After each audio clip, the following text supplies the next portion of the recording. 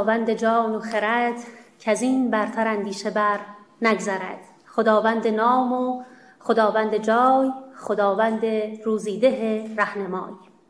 سپاس باد واهب حیات را و مبدع موجودات را و درود بر خاجگان رسالت و ائمه نبوت سیما بر صاحب شریعت کبرا و حادی طریقت اولیا محمد مصطفی صلی الله علیه و آله و سلم.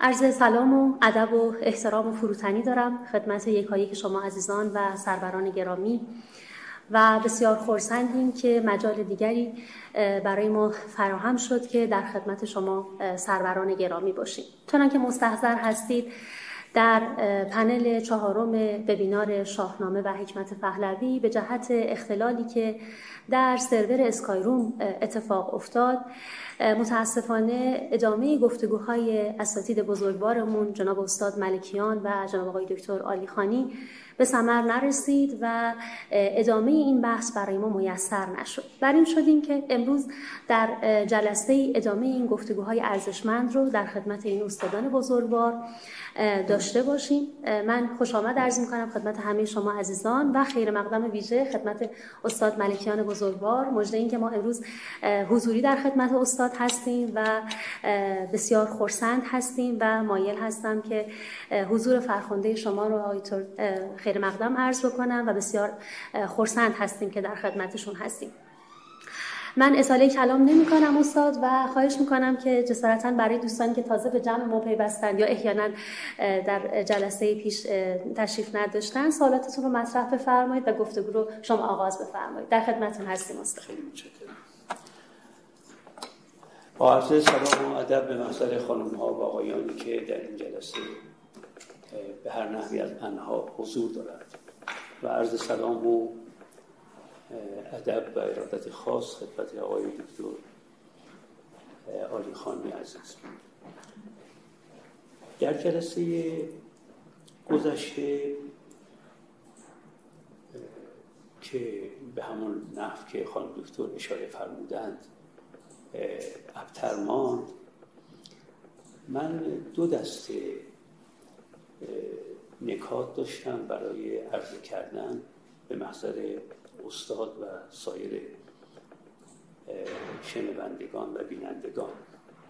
یک دسته در خصوص خود کتاب بود و یک دسته در باب اون فکرت اصلی که این کتاب به گمان من در زمینه و پس زمینه اون فکرت اصلی نوشته شده بود و سیر می‌کرد. ولی به نظر میاد که اون بحث راجع به خود کتاب تحت شعا قرار گرفت. نسبت به مطالبی که من درباره اصل حکمت خالده اصل دین خالد و جاودان خرد فلسفه جاویدان و با تعابیر مختلف داشتم. البته میپذیرم که باید من اون سوالاتی که و رفع ابهام هایی که خواستارش بودن درباره خود کتاب رو مقدم می‌کردم. بر آنچه درباره کل فکرت حکمت خالده و دین خالد قابل طرح بود. این رو میپذیرم. ولی به هر حال سوالاتی من طرح کردم و جناب استاد در مقام پاسخگویی به این سوالات بودن که این سوالات و پاسخ حضرت ایشون به این سوالات ناقص بود. من الان یک بار به صورت خیلی خلاصه تکرار می‌کنم این سوالات را.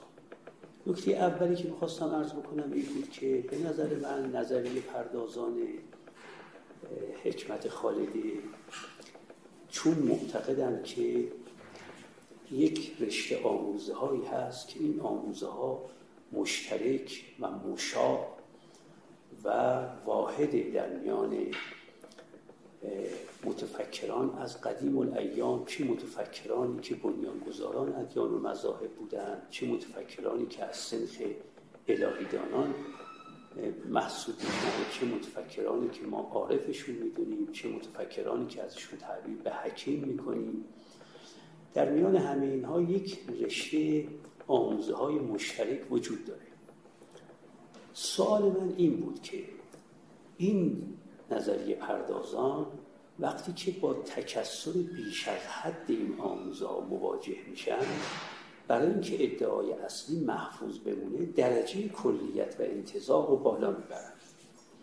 اون مثالی هم که در اون جلسه زدم که در باب انواع انسان ها و بعد گفتم خب همه انسان های روی زمین رو با یک درجه کلیت بسیار بالا و انتظار خیلی شدید می‌تونیم بگیم همه در حال از سرگذراندن زندگی هند و این باعث میشه که فعالیت های بسیار متکثر و متنوعشون همه زیر پوشش این عنوان کلی قرار می‌گیره و انگار همه یک کاسه میشن با اینکه فلواقع یک کاسه نیستن هر کدامشون دارن کاری می‌کنن. اون مثال رو به این جر زده بودم.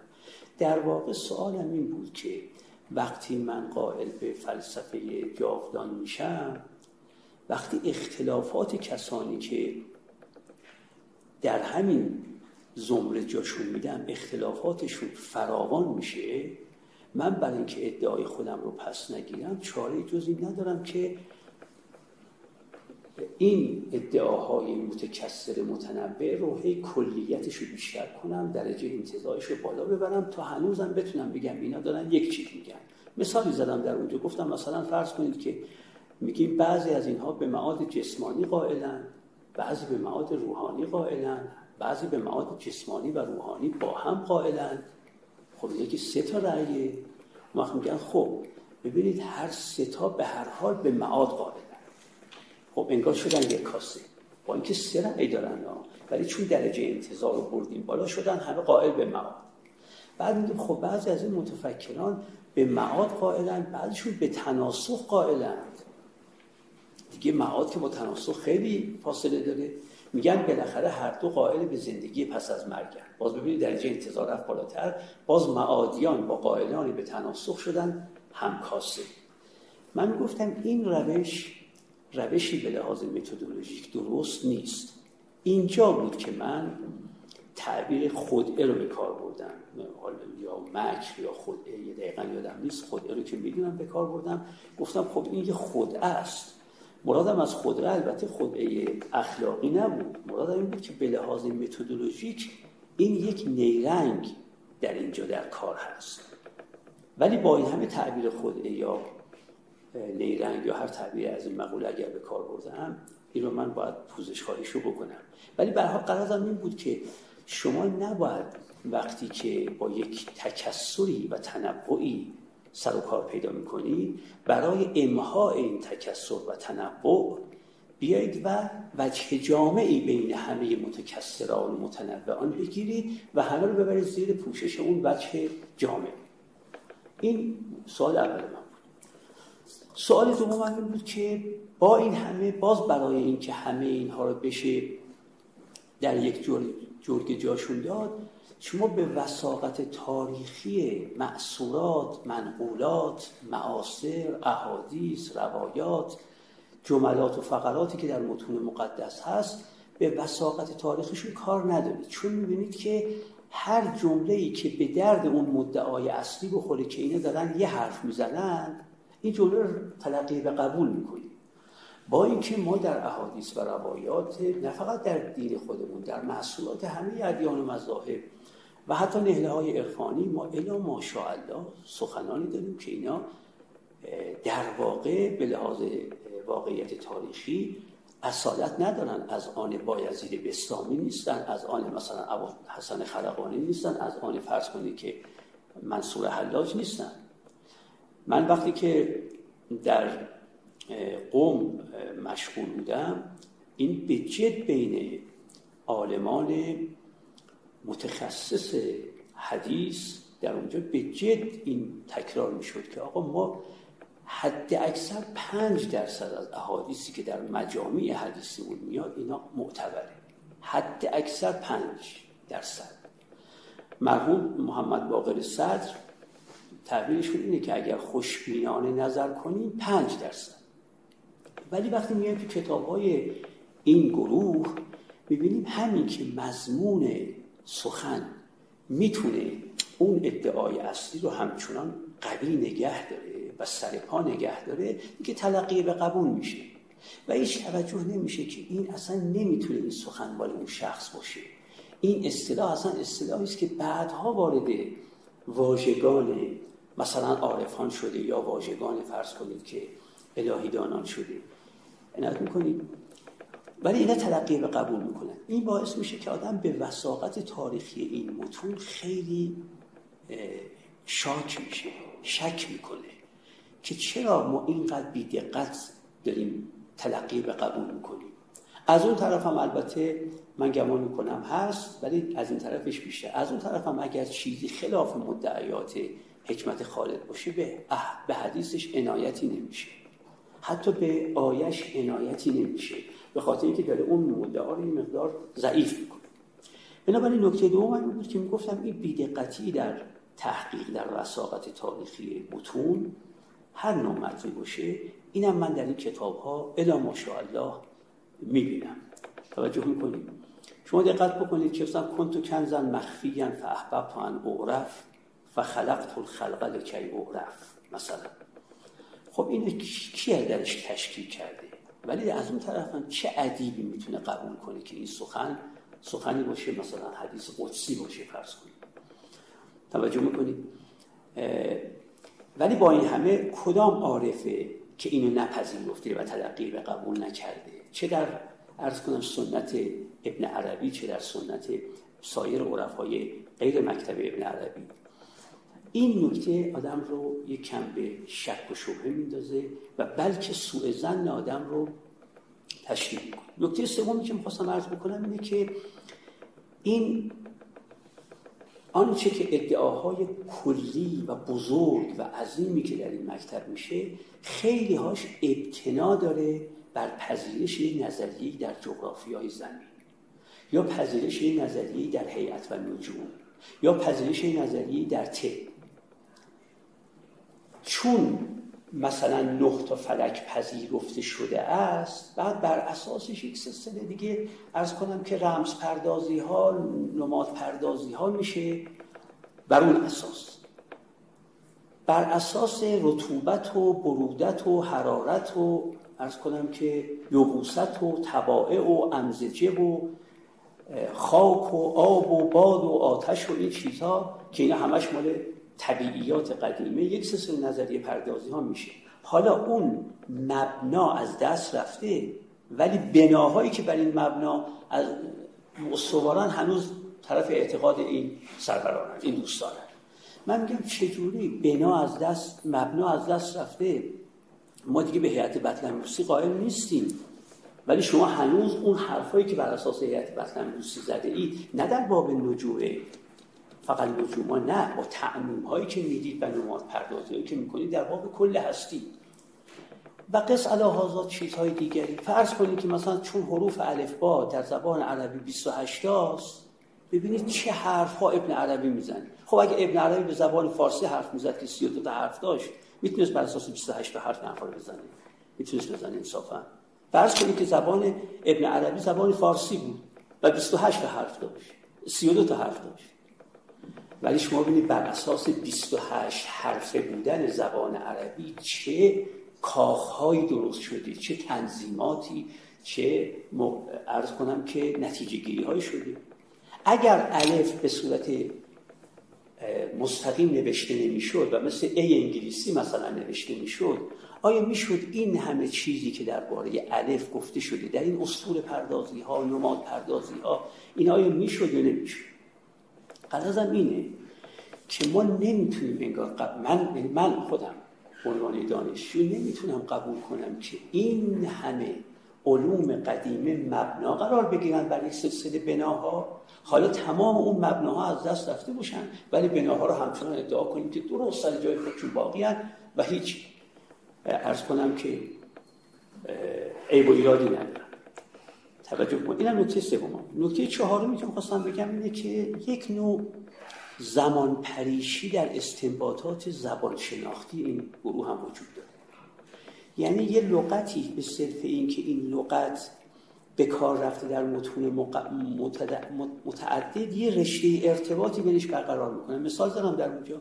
خب مسلم ابراهیم وقتی که به نفس قرآن البته من دارم عرض می‌کنم من که خبر ندارم از این چیزها ولی قرآن وقتی میگه که ابراهیم رفت بوتا رو بشکنه. خب قوم ابراهیم می‌گفتن چی می‌گفتن؟ فتن. ما یه جوانی دیدیم که یذکر آلهتنا مثلا فلان که بد, بد سخن میگه در بابه. حالا این گفته فتا. خب مسلم ابراهیم جوان بوده. اما آیا این باعث میشه که ابراهیم رئیس اهل فتوبت جهان بشه؟ توجه کنید و بعد اهل فتوبت هم اونقدر گسترش پیدا می‌کنن که شامل سامورایی های ژاپنی میشن شامل سرخپوستان میشن شامل از کنم که شوالیه های قرون میشن.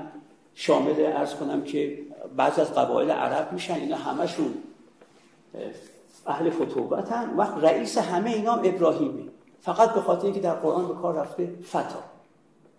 فتا در اونجا این جوان غیر از اینه که عضو این مثل اونه که مثلا یه کسی مثال می‌زنم فرض کنید که پنجاه سال دیگه بگه عجب ما شنیده بودیم که بسیج بعد از انقلاب اسلامی در ایران لغت بسیج درست شده ولی حالا می‌بینیم در منشعات قائم مقام فراهانی هم بسیج هست. میگیم عزیز من در منشعات قائم مقام فراهانی بسیج به کار رفته اما بسیج غیر از اون معنایی است که بعد از انقلاب اسلامی تو ایران پیدا کرده صرف به و سین و یه و جیم که وحدتی نمیاره.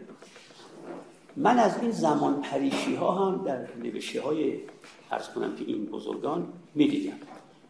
و آخرین چیزی هم که می‌گفتم این بود که بعضی وقتا این و بعضی وقتا که نه الا ماشاءالله چیزهای مطالبی این سروران ذکر می‌کنن که من میگم نور از کجا آورده کدام منبع شناخت این دانش ها رو به شما داده که مفاقدی آخه ما که منابع شناخت رو می‌دونیم چی هست. منابع شناخت عبارت از شش تا منبع شناخت مجموعات علیه داریم. عبارت از ادراک حسی است و درون نگری و حافظه و گواهی و شهود عقلی و عقل.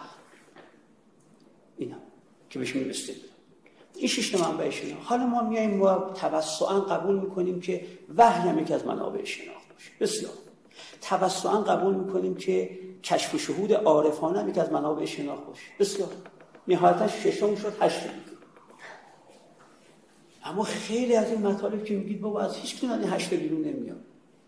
من الا ماشاءالله موارد فراوان دارم و در نوشته های مختلف که یه مطالبی میگن که آدم میگه از کجا فهمیدن؟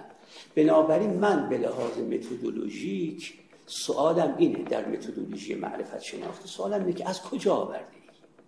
از کجا اینا رو میگی؟ تو از به چه منبعی وصلی که ما به اون منبع وصل نیستیم؟ ما که با این منابع شناخت همچین چیزا خبر نداریم که خدا روز اول چی رو آفرین رنگش فلان بود. بعد گفت بیا جلو از شدت شرم سرخ شد بعد آب شد بعد این از کجا تو فهمیدی؟ توجه می‌کنی؟ یه جوری به ما نشون بدی. من حتی گفتم امر بر خودم مشکل می‌کنم و میگم من آنچه که وحیم باشه من قبول می‌کنم. آنچه هم که تجربه دینی و ببخشید تجربه عرفانی قبول می‌کنم. اما دیگه این چیزا تو تجربه دین عرفانی وجود نداره. کدام کشف و شهود این چیزها رو معدای اون کشف و شهودا این چیز هاست اینه که یه قانون از کجا آورده ای یا به تعبیر متدولوژی فهم این مطلب. ببینید به مقام ثبوت کار ندارم. نمیگم خود این مطلب درسته یا نادرسته. یا مطلب درسته فی حق الواقع یا نادرسته. به اونش نمیگم. میگم تو از کجا با خبر شدی؟ بنابراین به مقام اثبات کار دارم. به تعبیر امروز بگم. به انتولوژی بحث کار ندارم. به اپیستمولوژی بحث کار دارم به مقام ثبوتش کار ندارم به مقام تحققش که آیا واقعا عقل اول ما خلق الله هست یا نه. به این کار ندارم حالا یا هست یا نیست. میگم تو از کجا فهمیده ای عقل اول ما خلق الله؟ این متد کشفت کجاست؟ یعنی منابع شناخت چی است این هم مطالب بود که من او در اون جلسه مطرح کردم. قبل از اینکه آقای دکتر وارد جوابگویی به بنده بشم. من دو تا نکته رو می‌خوام عرض می‌کنم نکته اول اینه که بازم من با کمال صداقت و صمیمیت عذرخواهی می‌کنم از تعابیری که به کار بردم که هم طبیعی است که برای آقای دکتر آزارنده باشه و هم طبیعی است که برای غیر آقای دکترم آزارنده باشه. من تعابیری به کار بردم. منتها واقعا قصد هیچ چیز صادقانه نداشتم. من وقتی که میگم این مقالطه کرد یا سفسته کرد در واقع می‌خوام بگم استدلال نادرستی به کار برده. حالا اگر گفتم خود یا نه فقط به اون معنا بگیرید. نه اینکه بخوام رمزشون کنم به عرض می‌کنم که رضایل اخلاقی. نه خودعه متدولوژیک میگم. یعنی شیعه و شگردی ترفندی. آن لفظ ترفند هم به کار بودم. یه ترفندی که این ترفند مورد قبول نیست به لحاظ متدولوژی این یک نکته ما عرض می‌کنم. نکته دومم که در جلسه قبل من چندین بار عرض کردم ولی بازم دوست دارم که تاکید کنم چون حقه. اینه که من از سالهاست صادقانه میگم بیش از 20 ساله که من شاگردی آقای دکتر آلی خانی رو می‌کنم و قائبانه شاگردی همیشه استمرار داشته ادامه داشته و افتخارم می‌کنم به این شاگرد. من سالها از ایشون دارم چیزی یاد می‌گیرم. این معنیش این نیست که من کفران نعمت وجود ایشون رو بکنم یا کفران نعمت فضل ایشون رو و مهمتر از همه اینها کفران نعمت شخصیت و منش اخلاقی ایشون رو. اینها مطلقا نیست. اما من همیشه این جمله از کنم که ارسطو برام الهام بخش بوده که افلاتون عزیز است اما حقیقت از افلاتون عزیزتر است. اینه که من کمال احترام رو برای ایشون دارم. خودم رو شاگرد ایشون تلقی می‌کنم افتخارم می‌کنم به این شاگردی. هیچ هم چاپلوسی در این جهت نمی‌کنم. و کما اینکه دیدید من از بزرگان این فرهنگم هیچ وقت اعتنایی بهشون هیچ وقت نکردم که فکر بکنید می‌خوام مجیزشون بگم. ولی این حق گذاری رو باید داشته باشم این سپاسمندی رو باید داشته باشم از ایشون. سوالاتی که می‌کنم فقط واقعا سوال. در جلسه قبلا عرض کردم اگر دکتر آلی خانی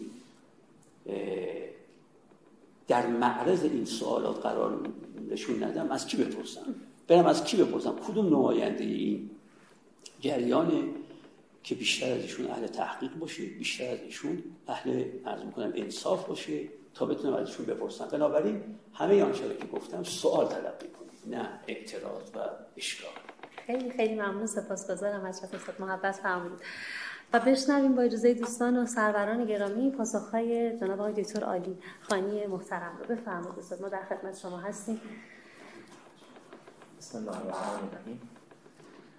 سلام عرض می‌کنم خدمت مهمانان گرامی. خصوصا خدمت استاد ارجمند. مطالبی رو مطرح فرمودن و در واقع با های خاصی که دارن چندین پرسش رو عنوان کردن. از اول اگر بخوایم شروع کنیم مبحث حکمت خالده به صورت کلی مد نظر ایشان بود. گاهی تعبیر می‌کردن به اینکه حکمت خالده در قرن بیستم توسط استادانی که مطرح شده مانند گنون و شاگردان رن گنون و صحبت های ایشون ناظر به اون نویسندگان بود به صورت خیلی کلی. یعنی انقدر کلی که دیگه به هر حال شاید مستاق همون بحث کلی هایی که خودشون داری مطرح می‌کنن قرار گرفت. چون بنده هرچی فکر می‌کردم کجای در کجای آثار جنون هست یا بودکار هست. که معاد روحانی و معاد جسمانی بالاخره هر دوشون در این که معاد هستن مشترکن به اونا از این طریق خاص با این ترفند خاص خواسته باشن وحدت رو برقرار کنن فعلا چیزی به ذهنم راستش نرسید. بقیه مثال اگر که دادن به همین بوده. از زمینه که به هر حال چه خوب بود که در این جلسه که درباره کتاب رموز اشراقی شاهنامه بود. ما راجع به حکمت خالده در قرن بیستم با این صورت کلیگویی در واقع مطالب اون رو مطرح نمی کردیم و در واقع خود کتاب به صورت موردی بحث می کردیم که آیا موفق شده این کتاب که بین رموز مثلا فرض کنید اسلام و ایران بین فرهنگ ایران و اسلام یک مقایسه که در عمل آورده آیا در این کار خودش موفق بوده یا نه؟ یعنی جاویدان شرط به طور کلی در این کتاب که مطرح نشده اینجا به صورت مستاقی در باب ایران و اسلام مطرح شد خب جناب استاد کتاب رو مطالعه کردن با دقت و مطالبی رو به حال من مترسط هستم که دریافت کنم از یادداشت های بسیار دقیق که دارم در باب صورت و معنا در این کتاب. امروز به یاری خدا و رو به صورت تنظیمات گرانبها ازشون دریافت خواهم کرد و برای چاپ ترجمه کتاب استفاده خواهم کرد. از نوشته, نوشته های گرانبهای استاد. الان عرض بنده اینه که آیا این مواردی رو که میفرمایید مثلا این گونه کلیگویی ها یا فرض بفرمایید که کوشش برای برگردوندن همه کسرت صورت ها به یک وحدتی ولو به صورت فرض بفرمایید که به صورتی که حقیقتا وجود نداشته باشه اون وحدت ولی ما بخوایم توجیه کنیم. یعنی که حتما این وجود داره. مثل مثال های فرض که معاد تناسخی که مطرح ولی فرصت پیش برای یه مطلبی رو می‌خوام عرض کنم. و اون اینه که در باب معاد تناسخ اگر به آثار رنگران مراجعه کنیم می‌بینیم ایشان به چه طریق در واقع وحدت مشارب و مذاهب رو مطرح کرد به این شکلی که مثلا مطرح شد می‌خوام عرض کنم که به این صورت حقیقتا من در هیچ یک از آثار ایشان این دو چیزی رو نمی‌بینم. در شاگردانشون هم نیست. شاگردان هم همون مثلا با همون راه و روش در عمل می‌کنن. و برخلاف اون چیزی که متاسفانه در این سالها خیلی در واقع رواج پیدا کرده. به عنوان یک نویسندگان خیال پرداز اونها رو میشمارن و میگن که اینها فرا تاریخی فکر می‌کنن اصلا از مطالعات تاریخی عاجز هستن این چنین چیزی واقعیت نداره حقیقتا. یعنی یک مثلا یک می‌خوام بگم برداشت غلطی هست از این موضوع. گنون اینطوری نیست که از تاریخ بی اطلاع باشه. این توهم از کجا به وجود اومده؟ چون ایشون به عنوان یک در واقع حکیم یعنی اهل حکمت. به دنبال به اصطلاح رسیدن با حقیقت از واقعیت های جزئی دیگه اصطلاح شروع می‌کنه ولی در این واقعیت ها متوقف نمیشه به دنبال معانی میگرده. ادهی فکر کردن این جستجوی معانی به معنای ندیده گرفتن مثلا تاریخ در حالی که این چیزی رو ما نمی‌دونیم. اگر کسی به شیخ اشراق هم می‌خواد نسبت بده بگه که این اشراق یعنی مثلا تفکر در اون سوی عقلها یعنی اینا حتی جلوی کار خودشون هم نمی‌بینن. این فرق افترا داره می‌زنه. شیخ اشراق جلوی کار خودشون نمی‌بینه. خیلی خوب می‌دیدن. خود ینون و شاگردانش می‌دیدن. شیخ اشراق و شاگردان مکتبش به خوبی می‌دیدن. یعنی این ببینید این مقدار بدبینی هست. یعنی ما فکر کنیم که چون اینها در سخن از اشراق میگن دیگه اینها جز آسمون دیگه هیچ چیزی نمی‌دونن. همش در آسمون هست. این اشتباهه. اصلا به سیره اینها هم که نگاه می‌کنیم مثلا شیخ اشراق به دنبال اصلاح اجتماعی هست. اصلا شاید در خاورمیانه طرحی داره برای اصلاح. یه فکرایی داره. مثلا طرح مدینه فاضله داره می‌خواد یه اصلاحاتی بکنه. به دستگاه سلجوقی نزدیک میشه به دستگاه ایوبی نزدیک میشه. مانند افلاتون که یه طرحهای خاصی که داره در زمینه اصلاح جامعه اونها رو محقق کنه خب یه چنین فردی که مشکلات جامعه رو در نظر داره ولی فکر اصلاح هست. این آیا در فوق ابرها داره زندگی کنه هیچ چیزی نمی‌فهمه هیچ چیزی نمی‌دونه اشتباهی این در مورد شکلش. در مورد مرحوم گران استاد توجه دارن و خودشون هم در جلسه گذشته از مدن گران به عنوان یک در واقع محقق واقعی در شبیه تعابیر شبیه یاد کردن. چون آثار گران رو هم کسی دیده باشه متوجه میشه که در واقع یک محقق جدی هست و خب آیا در مورد ایشون غیر از اینه که به اصلاح جوامع داره فکر می‌کنه؟ یعنی مثلا فرض کنید که همین آرزه هایی که امروز دامنگیر شده فرض کنید میگیم تغییرات اقلیمی و خطراتی که خیلی نزدیک داره میشه یعنی بشر رو تهدید می‌کنه. خب اینا رو گران داره گوشزد می‌کنه با اون طرز فکری که داره داره اینا رو گوشزد آیا ایشون فوق ابرها داره زندگی می‌کنه؟ هیچی رو نمی‌بینه؟ خب این چه این احترام میشه که مثلا شما بگید فوق ابرها رو می‌بینید هیچی نمی‌بینه.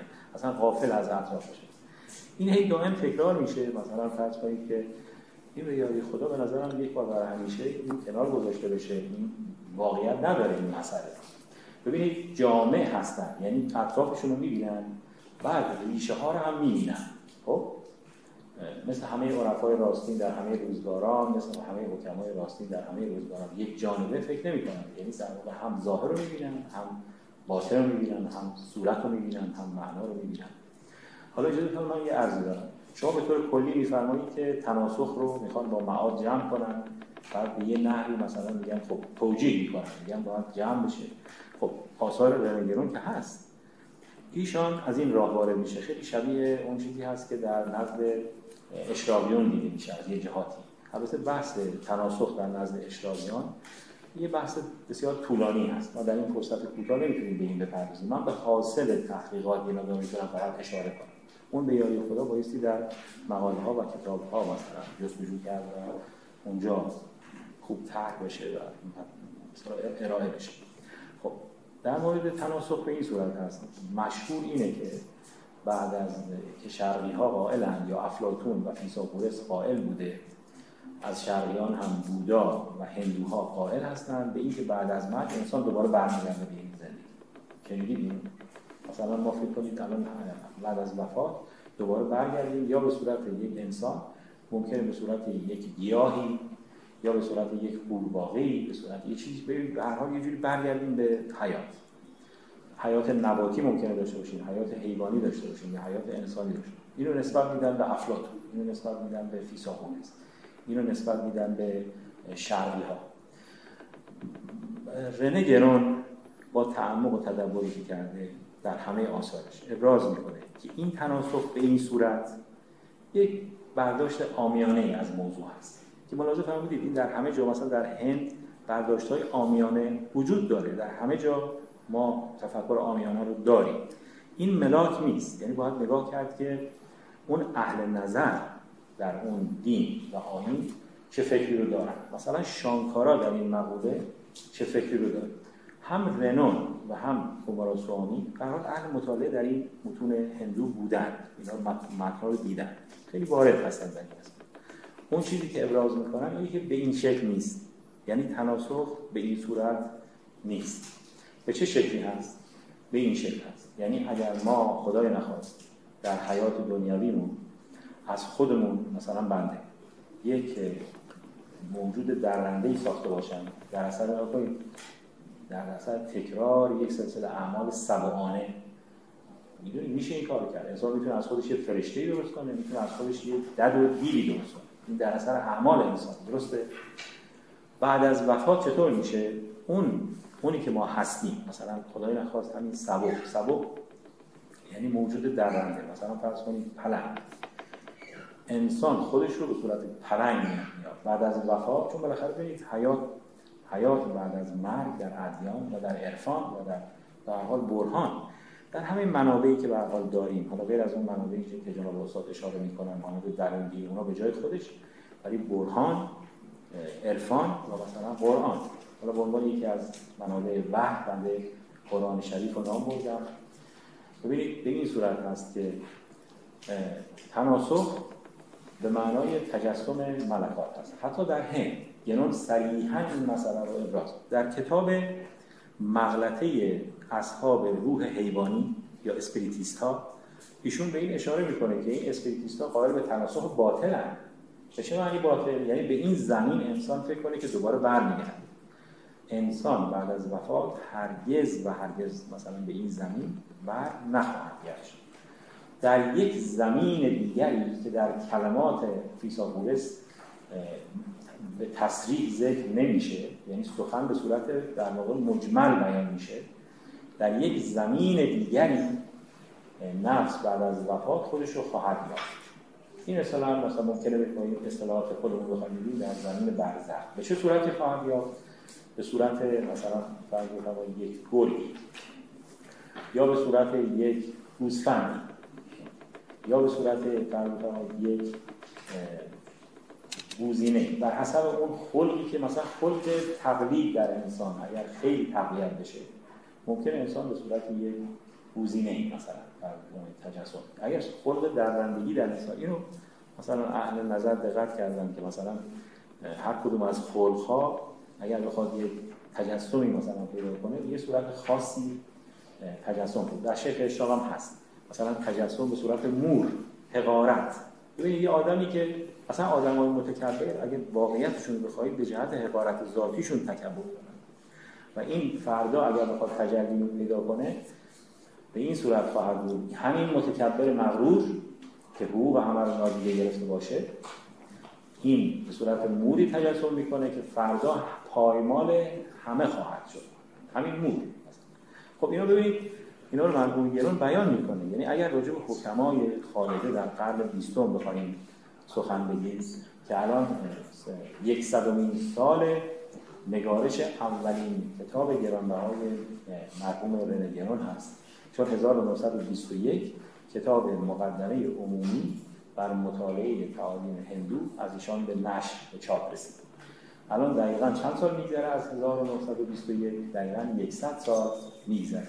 حالا به مناسبت این سمینار ما در یادی هم از این موضوع کنیم خب ببینید ایشان که در سال گذشته همین کتاب ایشان در در سایت سمینار حکمت پهلوی ارائه شد و صحبت ایشون رو هر کسی که می‌خونه می‌بینه دستبندی های دقیقی هست از مسائل طرح مسائل مبهم پرهیز می‌کنه. مثل شیخ اشلا تفکر شیخ اشلا مثلا کتاب های منطقی شیخ, اشلا الان موجود هست منطق مطالعات منطق حکمت اون بعد متعالی رو داره شیخ اشراق یعنی منطق اش... از منطق اشراقی در واقع داره سخن میگه. ولی اینطوری نیست که فرض بفرمایید که بخواد بدون ضابطه صحبت کنه و مثلا فرض چیزی رو نمی‌بینه بگیم که مثلا این منطقش مثلا صفره. این واقعا اینجوری شیخ اشراق منطقش صفر واقعا نیست 20 منطق گران هم باور کنید 20 جناب استاد واقعا وقتی نگاه می‌کنیم به آثار ایشون ببینیم که منتها خب اینا ببینید یه روح متعالی دارن به دنبال ریشه ها میگردن. یک حکیم و عارف به دنبال این هست که به حقیقت پی ببرن و این برای خیلی از افراد به هر حال قابل درک خیلی نیست. اینا دارن به کجا میرن چه اتفاقی میفته و مورد در واقع قضاوت هایی قرار می‌گیرن و حل قضاوت هایی قرار می‌گیرن که ممکنه اون قضاوت ها در واقع درست گاهی نباشه. حالا در مورد معاد و تناسخ بفرمایید. آیا فاصله از میان برخواست یا نه؟ تناسخ چه در نزد فیثاغوره چه افلاطون چه بودا چه هندو به معنای تجسم ملکوت شما در ادیان ابراهیمی هم اگر عمیق نگاه کنید این مثلا مثل عرفا طایفه عرفا. عرفا به چه صورتی در واقع معاد رو در نظر می‌گیرن؟ معاد یعنی همین تجسم یافتن یه بخشش این تجسم یافتن خلقیات انسان. این خیلی مهمه. و این ضرورت تزکیه رو ما در واقع کاملا نشون میده که که اگر مثلا خلقیات نادرست رو در وجود خودمون ریشه نکنیم یک آینده سیاهی در انتظارمون هست. مثلا به این شکل یک نفر که کارش نیش زدن به دیگران هست این ممکنه فردا به صورت یک عقربی مثلا. خودش مثلا کنید خودش رو به صورت یک عقربی خواهد دید. چون بحث همونجوری که شیخ اشراق تحقیق کرده ببینید بحث بازگشت به چه صورته؟ به این شکل که تجسم پیدا می‌کنه اون در واقع خلقیات انسان یک تجسم فرض که مثالی که این طرح عالم مثال شیخ اشراق کرده. و خودش میگه که با طرح عالم مثال از جمله مسائلی رو که حل کردم همین بحث تجسمات بهشت و دوزخ هست. ببینید مثلا فرض کنید حالا من موارد منفی رو گفتم موارد مثبت رو فکر کنید اگر کسی خلقیات نیکویی داشته باشه خب اینجا چطور میشه؟ همین خلقیات نیکو به صورت های بسیار خوبی همین که در وعده های فرض کتاب های آسمانی هست در وعده های قرآن شریف هست. اون خلقهای نیکو بر انسان متجلی میشه. به صورت مثلا میوه ها بعد علا سرور متقابلین بهشتیان در یک آرامشی بدون اینکه برخلاف فرض که این جوامعی که ما در اون بود در این جز لغو و بیهوده ما واسه چیزی نوشتن. ولی اونجا در واقع لغو و بیهوده اصلا راه نداره. کاش مثلا ما اون همون جامعه شبیه اون داشته باشیم و یک وضعیتی مثل اون باشه که ما هیچ لغو و بیهوده ای منظور چی؟ یعنی مثلا سخنانی که از سر مثلا هواهای دنیوی باشه.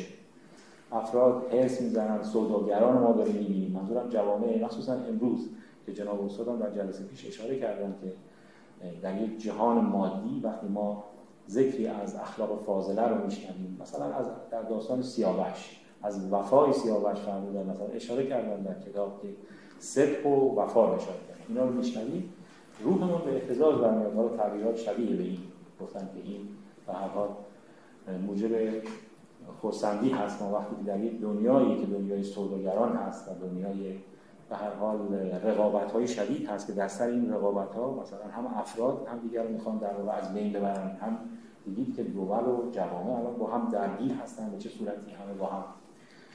خب این بحث ها مطرح میشه پس این اجازه بفرمایید بنده این مثال دیگه به همین جا یعنی به همین ذکر همین مثال بسنده کنم که به هر حال بایستی یه مقدار دقیق‌تر موضوع رو طرح کرد. حکمای خالده به طور کلی مثلا شاید به اون شکل خیلی طرحش به نتیجه نرسه به نحوه مثلا همه با هم. مثلا راجع به گرون که صحبت می‌کنیم آثارش رو بررسی کنیم حقیقتا کلیگویی ما نمی‌بینیم. ایشون مطالبی که مطرح می‌کنه خب ببینید به عنوان یک اهل حکمت داره نگاه می‌کنه. درسته در ظواهر مثلا بسنده نمی‌کنه به ظواهر و بلکه به دنبال رسیدن به حقیقت موضوع هست. و این این میشه ببینید باز مسئله وساقت چون وقت کم هست بنده یکی یکی سوال های استاد بزرگوار رو مطرح کنم چیزایی به نظرم می‌رسه عرض کنم. و در مورد وساقت هم خب اگر احیانا کسی یعنی احیانا در مسئله تحقیقات مربوط به مثلا سند احادیث بخواد کوتاهی کرده باشه این قابل انتقاد است. این واقعا قابل انتقاد البته اینجا از این طرف هم ما یه مقدار چیز داریم یه مقدار مطلب خشخاش گذاشتن ها به این معنی که یه عده‌ای هم ممکنه پیدا بشن بگن از کل احادیث اسلامی مثلا شما میفرمایید 5 درصد ما میگیم 2 درصد. واقعا هم بوده مثلا میشه اینجور فکر کرد. باز مثلا یک درصد به اینجا برسونن ببین آخه تبلیغی این داستان. به اینجا برسونن که دیگه صفر مثلا. میشه اینجور. ولی خب عملا شما این منبع رو دیگه از دست اهل تحقیق گرفتید مثلا. خب این بله روحیه اسمشو می‌ذارن تحقیقی ولی می‌تونه روحیه شکاکانه مثلا باشه و خودش در میشه مثلا راجبش فکر کرد آیا قابل انتقاد هست خب راجع به این. بعد مسائل مثلا تاریخی. آیا شما مثلا باید دقت کنید به تاریخ مثلا قزلویان تاریخ سلجوقی؟ اگه بخواید یه نظریه مطرح کنید. مثلا در کتاب رموز اشاره شاهنامه صحبت‌های مطرح میشه راجع به تاریخ ایران. آیا مراجعه کردیم به تاریخ کتابا رو بخونیم؟ مثلا تاریخ سلاجقه رو بخونیم. تاریخ سلاجقه ابن بیبی رو مثلا. آیا اینا مثلا باید حتما باید باشه؟ اگر نیست این نقطه ضعف باید برطرف بشه. منتها صورت آرمانی اینه که شما فقط به گردآوری جزئیات بسنده نکنید و بعد یه مقدار به هر حال مسائل عمیق‌تر هم مطرح بشه در آثار.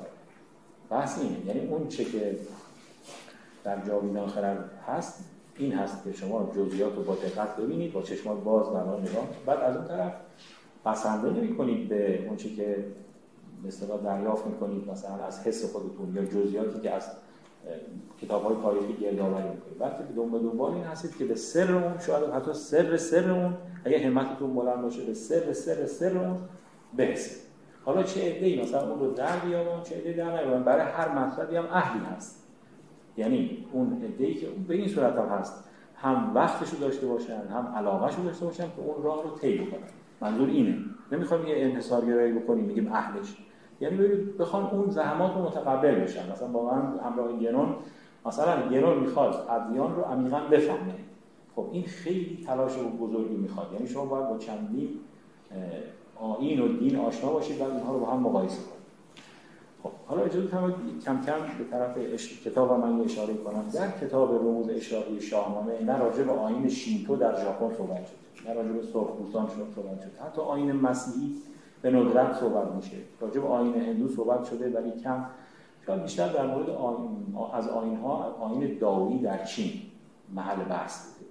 اگر کتاب دقیقا ملاحظه فرموده باشید از آین داوی در بحث انسان قدیم مطالب زیادی نقل شده. این هست. ولی بیشتر مباحث ایران اسلام هست. یعنی شما نزدیک نزدیک.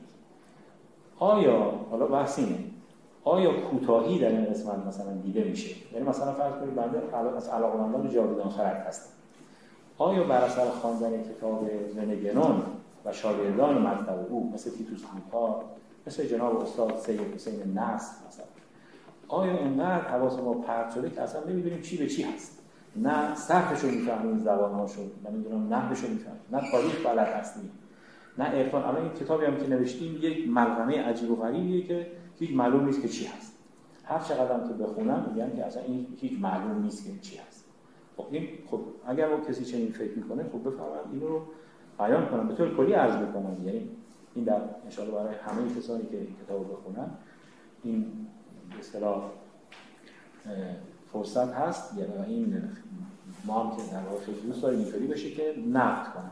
من شنیدم که استاد محترم ادبیات فارسی اخیراً جناب آقای دکتر ابوالفضل خطیب شهرت زیادی دارن در رشته ادبیات زحمت کشیدن نقدی رو بر کتاب منتشر مثلا بهترین خبر برای بنده مثلا گفتن دیشب یه شدی شد اتاق شد بعد دیر یادشون افتاده حالا به مناسبت برگزاری سمینار مثلا فرض کنید بسیار خوب. مثلا مناسبت برگزاری به همین مناسبت چون کتاب اول فرض کنید از آخر بهار منتشر شده بالاخره چند ماهی میگذره دیگه. ولی الان و همین مختنم هست. و ممکنه حتی گفته باشن که مثلا انتقاد کرده باشن. از دیدگاه ادبیات فارسی انتقاد کرده. میگن این فلسفه اصلا معلومه چی هست. مثلا فلاسفه اصلا معلومه چی دارن. فقط خودشون می‌دونن چی میگن. بعضی هم میگن حتی خودشون هم نمی‌دونن چی دارن میگن. ببینید. یعنی مهربانی هایی که دارن به اهل فلسفه به این صورت است ولی خب بهتره ببینید امیدواری به این شکل نباشه. من هنوز این نقد ایشون رو نخوندم فقط شنیدم. چون تازه منتشر فرصت نداره. ولی انشالله مثلا اگر نقدی هم میشه راجع هر کتابی کلا عرض می‌کنم. من می‌خوام چیز کنم. بگم فقط این طور کلی. خیلی ارزشمنده. یعنی نقد بسیار ارزشمنده منتها خب دقیق و به مورد مثل نقدهای جناب استاد ملکیان که من یادداشت‌هایشون نگاه کردم مثل کارهای چیز هست. مینیاتوری. مثلا به خیلی دقیق صفحه به صفحه. این این درست. مثلا میگن که شیوه استدلال شما در اینجا می‌تونست بهتر باشه. مثلا. خب اینا همه قابل استفاده است و مثلا برگزاری این جلسات هم برای همین کارا هست. خب این کار وساقت هم پس اینطور شد که میفرمایید وساقت. بله اگر شما نشون بدید مثلا وساقت گران مثلا در کارهاش. البته ببینید یه شهرتی پیدا کرده یه عده‌ای اومده از مخالفانش گفتن که این اصلا مثلا وساقتش کم. خب نه ببینید مخالفان اونایی هستن که دقیق نمی‌خونن. اصلا دوست ندارن این فکر رو. خیلی خوب. در مورد هر فکر اینطوریه. موافقانی هست مخالفانی هست. ولی وقتی شما می‌خونید ببینید که ایشون با دقت در واقع ذکر می‌کنه. مثلا منابع رو ذکر می‌کنه. ولی میگه که اعتقادش اینه که بیش از حد منابع متفرقه رو وارد بحث کنیم میگه که مفید نیست قناعت می‌کنه به منابع اصلی ذکر منابع اصلی. این به این, به این صورت نیست که منابع رو ندیده باشه. مثلا نقد و نظرهای کتاب ها رو در همون مجله مطالعات سنتی فکر می‌کنید چند تا کتاب ایشون نقد و نظر کرده؟ با دقت مثلا تعدادشون باور می‌کنید در زمینه هم هند هم مسیحیت و هم زمینه های دیگه. در یک کتابی نقد و نظرهای ایشون جمع آوری شد. با چه دقتی مثلا ما کتابا رو بررسی کرده و بعد نظر میده. منظورم اینه که یه محققی هست که می‌بینه چه چیزی منتشر شد چه حرف تازه‌ای آمد. نه اینکه بگیم تو عالم خودش اصلا حرف کسی رو این نیست که من مثلا اینجوری نیست. بعد شیخ اشراق مثلا نمی‌دونسته که فخر رازی هم معاصرش هست. مثلا اون چی گفت؟ اون یکی چی میخوندن بررسی می‌کردن. تا خب نظرشون می‌گفتن و نظرشون به حال همون اشراقی بود. یه مقدار از درک عمومی فاصله داره چون مستلزم یک مثلا سیر و سلوکی هست و یک طی مراتبی هست. که همه اون رو نداره خب اینم بحث وساقت. جناب استاد راجع به علم جدید و قدیم طرح مسئله می‌کنن که این خیلی گسترده است. اما فکر کنید در یک چند دقیقه بخوایم این بحث رو مطرح کنیم. چه بحث بحث‌های خوبی در فلسفه علم تاریخ علم هست. و نویسندگان جاویدان خرد هم در این مقولات فلسفه علم و تاریخ علم آراء خاص خودشون دارن. مثلا گنون داره. مسئله فرض کنید که اینکه علوم چه ماهیتی داره. در سیطره کمیت نظرش راجع به علوم اینه که علوم ابطال پذیری بیشتر فکر می‌کنه یه نظریه میدن بعد این باید به, محک نقل بخوره. حالا ممکنه کسی بگه که این من شبیه مثلا نظر فلان است خب اون قدمتش هم که نگاه کنید یعنی این حرف این صحبت رو مثلا از 1920 و 30 داره مطرح می‌کنه که خب نویسندگان مثلا دیگری که در به طرح رأی ابطال پذیری مثلا مشهور هستن اینها در دوره متأخرتری مطرح کردن. ببینید پیشگامی ایشون رو در مباحثات تاریخ علم و فلسفه علم بود. خب آراء خاص خودش داره در تاریخ علم. ببینید لزوما برابر با آراء مورخان علم دیگه ممکنه نباشه چون هر کسی صاحب نظر هست و نظر خودش رو در واقع ارائه در مورد علم قدیم ما باید مبانیش رو ببینیم. از آیا, آیا حق داریم مثلا ما متون طبیعیات رو کوچک بشماریم بگیم مثلا حوصله خوندنش رو ندارن خب این که درست نیست. ما باید مبانی رو ببینیم. حتی الان کار خوبی نمی‌کنن در کتاب های درسی. مثلا اشارات که داریم می‌خونیم مبحث طبیعیات رو که کنار می‌ذاریم ما راستش ما بعد از طبیعه ابن سینا هم شاید درست نفهمیم.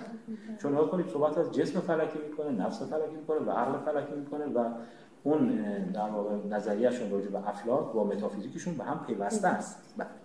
یه عده اینجوری فکر کردن ما فیزیک مثلا فیزیک قدیم رو از متافیزیک قدیم جدا می‌کنیم بعد اون داده های علمی جدید رو میاریم می‌ذاریم جایی. خوش به این سادگی بودیم. این به این سادگی نیست حقیقتا. این یک کار مثلا به این شکل میسر نیست که شما به سادگی اینا رو مثلا بخواید با هم جمع کنید. شاید بتونید جمع کنید ولی خیلی مراحلی رو باید طی کنید تا اینا رو با هم بتونید جمع کنید. خب حالا ببینید بحث اینه جهانشناسی قدما وشهه نظر سمبولیک رو در اون حتما باید لحاظ کرد. مثلا آب و باد و آتش و خاک. تیتوس بودخاک به خوبی بیان کرده نسنجید اینو با عناصر جدول تناوبی. این اصلا نگاه کنید قیاس فارغ اصلا اشتباهه. شما مقایستون اشتباه. شما اینو با چی بسنجید؟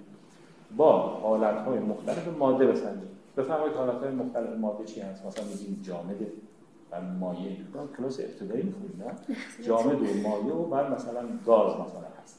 میگن حالت پلاسمایی چهارمی هم گاهی مثلا میگن سه چهار تا مثلا حالت. قدما به جای جامد میگن خاک به جای به زبان تمثیلی دوست داشتن حرف بزنن. خب اینجا اینم یه نوعی زبان. بعد راجع به افلاک هم ببینید با استهزا صحبت کردن که مثلا فرض کنید فلک قمر. خب ببینید اون شما چرا به نکتهش نگاه نمی کنید ما زمینی ها احاطه شدیم توسط مثلا فرض کنید مراتب وجود. مراتب وجود رو از به صورت افلاک تو در تو در واقع چه می‌کردن؟ میادن و نمودار میساختن یعنی به صورت رمز به صورت رمزی بیان می‌کردن. این وجهه نظر سمبولیک رو وقتی لحاظ می‌کنیم دیگه اینطوری نیست که بتونیم اهمیت کمی قائل باشیم برای. یک بار دیگه متون طبیعات قدیم رو به نظرم مثلا بازخوانی کنیم مثلا ما همین کار رو داریم می‌کنیم در مورد طبیعات اشراق در مورد طبیعات ابن سینا. الان طبیعات اسفار خب یک مثلا کتاب بزرگی الان هست طبیعات اسفار این به نظرم کنار گذاشتنش به لطفی نداره به یعنی چرا باید به این شکل عمل کرد؟ شما همون رو متا خب نگاه کنید با یک نگاه نقادانی با یک گفتم اصلا نگاه دیگه داشته باشید. تحت لفظی حقیقت فیزیکی عالم اینه که زمین در واقع به دور خورشید داره حرکت خیلی خوب. ما متوجه شدیم اینجوری هست. یعنی در علم و در عقل این حالا دوستان بفرمایید در حس چطوره؟ این در عقل و علمه که زمین در واقع متحرکه و خورشید در واقع ثابت زمینی که داره دور خورشید میشه دیگه از کوپرنیک به بعد این مسئله مثلا مطرح شد و یک قائله هایی در غرب پیش اومد. می‌دونید که تزلزلی مثلا در افکار غربی ها افتاد با این مسئله. خیلی چیزا انقلاب کوپرنیکی خیلی چیزا رو اصلا عوض کرد. حالا عرض من اینه ببینید آیا در حس چطور هست؟ در حس. زمین. یه خطای بصری داریم. زمین ساکنه. زمین ساکنه در حس. شما اصلا فکر کنید قهرمان رشته اختر فیزیک هم هستید. مثلا. شما در حس جناب زمین ساکن و خورشید باور می‌کنید متحرکه؟ اصلا در قرآن شریف هم با همین زبان صحبت شده. تجری از شمس و لمستقر لها. به همین تج... به زبان تجربه عمومی با مردم صحبت شده. تجری به چه معنی؟ میپوید می‌رود شمس خورشید به مستقر لها تا به اون جایگاه غروب خودش. یعنی یه حرکت ظاهری از شرق به غرب. خب از طرفی در قرآن می‌خونیم که لا یعتیه الباطل من بین یدیه ولا من خلفه. باطل در قرآن راه ندارد. خب چه نتیجه می‌گیریم؟ دوستان بگن خب برای کسانی که بالاخره استادم اشاره کردن یکی از منابع رو وحی می‌دونن. البته خب با یه مقدار در گفتن توسعا. مثلا منبع اولیه چیزای دیگه بود منابع اولیه رو شما بودن بعد میگم که توسعا می‌تونیم بگیم کشف هم هست می‌تونیم بگیم وحی هست. خب حالا ببینید شما در از کتاب های در واقع فلسفه با عصبانیت قسمت طبیعیات اسفار و و اشراق و با عصبانیت کندید و در سطح آشغال اونو شما چرا این کار کردید؟ خب این جنایت رو چرا کردید شما این کار؟ اولا نگاه کنید اون با هم بود. شما باید چون دیگه به درک اون فلسفه قادر نمیشید. اشاره هم کردم جناب استاد در صحبتاشون بود فیزیک و متافیزیک قدیم برای با هم بود. اینجا حالا به این شکل بگیم به یه شکل همراهانه همدلانه بگیم بگیم که این فیزیکشون به اصطلاح مثلا چیز آینه ای بوده مدل فیزیکی که ارائه می‌کردن آینه ای بوده برای اون معانی فیزیکی که داره. یعنی کیهان شناخت قدما سرشار از بارهای متافیزیکی هست. خب برای کسانی که متافیزیک جدی بگیرن این بی ارزش نیست. این به هر قابل مطالعه است. مثلا ما ببینیم که کیهان شناخت ابن سینا مثلا به چه صورتی؟ همون خب در نزد سهروردی هم می‌بینیم همون در نزد صدرا هم می‌بینیم. تقریبا در این زمینه مشترکن. خب در کتاب آسمانی می‌خونیم که تجر شمس به مستقر نحو در کتاب فلسفه می‌خونیم. کتاب عرفا مثلا ابن عربی و دیگران که استاد اسم ابن عربی را خوندن یک سالک حرکت می‌کنه اول میگه که در مرتبه خاک بعد هوا اصلا مطابق طبیعیات قدما سالک داره حرکت چطور اینا اهل شهود بودن؟ بعد مطابق کیهان شناخت قدما دارن حرف می‌زنن. بعد می‌رسیدن به فرض کنید کره هوا. بعد می‌رسیدن به کره آتش. بعد فلک قمر. بعد فلک عطارد. بعد فلک زهره. بعد شمس. بعد می‌رسیدن به فلک مریخ. و می‌رسیدن به فلک اصلا داره توضیح میده. در هر کدوم در هر کدوم از اینا مشاهدات داره مثلا فلک مشتری. رسیده به فلک مشتری. بعد رسیده به فلک زحل بعد به فلک در پر ستاره بعد میگه رسیدم به فلک بی ستاره. بعد از عالم جسمانی خارج شدم. به مثال از مثال رفتم به جبروت یعنی عقل و از اونجا هم به عالم اله رفتم.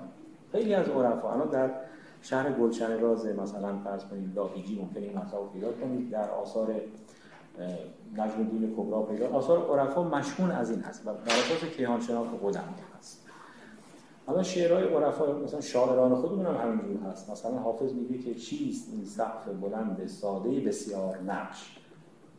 سقف بلند ساده بسیار نقش. هم ساده هم بسیار نقش. ساده فلک بی ستاره میشه نهم. بعد بسیار نقش فلک پر ستاره که هشتم. یعنی راجع به فلک هشتم و نهم صحبت. اگر ما با طبیعت قدیم آشنایی نداشته باشیم اونو کندیم انداختیم دور خب حافظ متوجه نمیشیم. خب؟ باید حالا این لازم هست از این جهت که نگاه کنید یه آینه یه برای درک مسائل بالاتر. از نظر واقعیت فیزیکی ما نمی‌خوایم اینطور بگیم. یعنی نمی‌خوام بگیم که فرض بفرمایید که زمین اونجوری که خودمون فکر می‌کردن مثلا فرض ساکن هست. زمین ساکن نیست. و خورشید مثلا اصلا داستان برعکس این درسته. ولی به اون زبان صحبت می‌کردن و پایگاهش چی بوده اون زبان که نمی‌تونیم تمسخر کنیم؟ چون نکنید تمسخر اون زبان به تمسخر خودمون منتهی میشه. اگه گفتی چرا؟ چون ما این شأن حسی رو داریم. مثلا این خطای بصری برای ما هست. این الان شما می‌تونید از این جدا بشید. زمین رو الان داریم ساکن میپنداریم. مثلا خورشید مثلا متحرک به نظر ما می‌رسه بنابراین وقتی که شما یه لحظه تفتن پیدا کنید به این موضوع دیگه بد اخلاقی و مثلا این قسمت کتاب رو مثلا من اصلا دیگه نمی‌خوام ببینم و نمی‌دونم. بعد شما می‌خوای چه کار کنید اینو نمی‌خوای ببینی؟ بعد داده های علمی رو مثلا بدون اینکه کار ظریفی روی اون انجام داده باشی یه حرکتی از خودت نشون بدی. همون رو می‌خوای بیاری به این؟ این نمیشه که این که این شما به آشفتگی فکری می‌رسید که حالا شما ممکنه بگید خب رسیدی. خب اگر رسیدی بالاخره یه آفتی هست باید یه فکری کرد و این جواب نمیده. شما در باب داده های علمی نویسندگان جواب آخرت وارد این وادی میشن. شما ممکنه ببینید فکر کنید که الان این داده های علمی معناش چی هست؟ مثلا اون کره محدد جهات اینها به اون صورت مثلا میگیم یه لحظه می‌ذاریم کنار میگیم که فضای نامحدود. درسته؟ الان در کائنات ما به فضای نامحدود یک اشراقی با خودش اینجوری میگه میگه که این فضای نامحدود با این عظمت دال با اگر این باشه که هست ببینید مثلا فضای عالم مثال چقدر عظمت داره. ببینید فضای عالم عقل چقدر گسترده. بعد ببینید فضای عالم اله چقدر گسترده. یعنی کنید یعنی داره چه کار می‌کنه؟ فعالانه داره روی داده ها کار می‌کنه.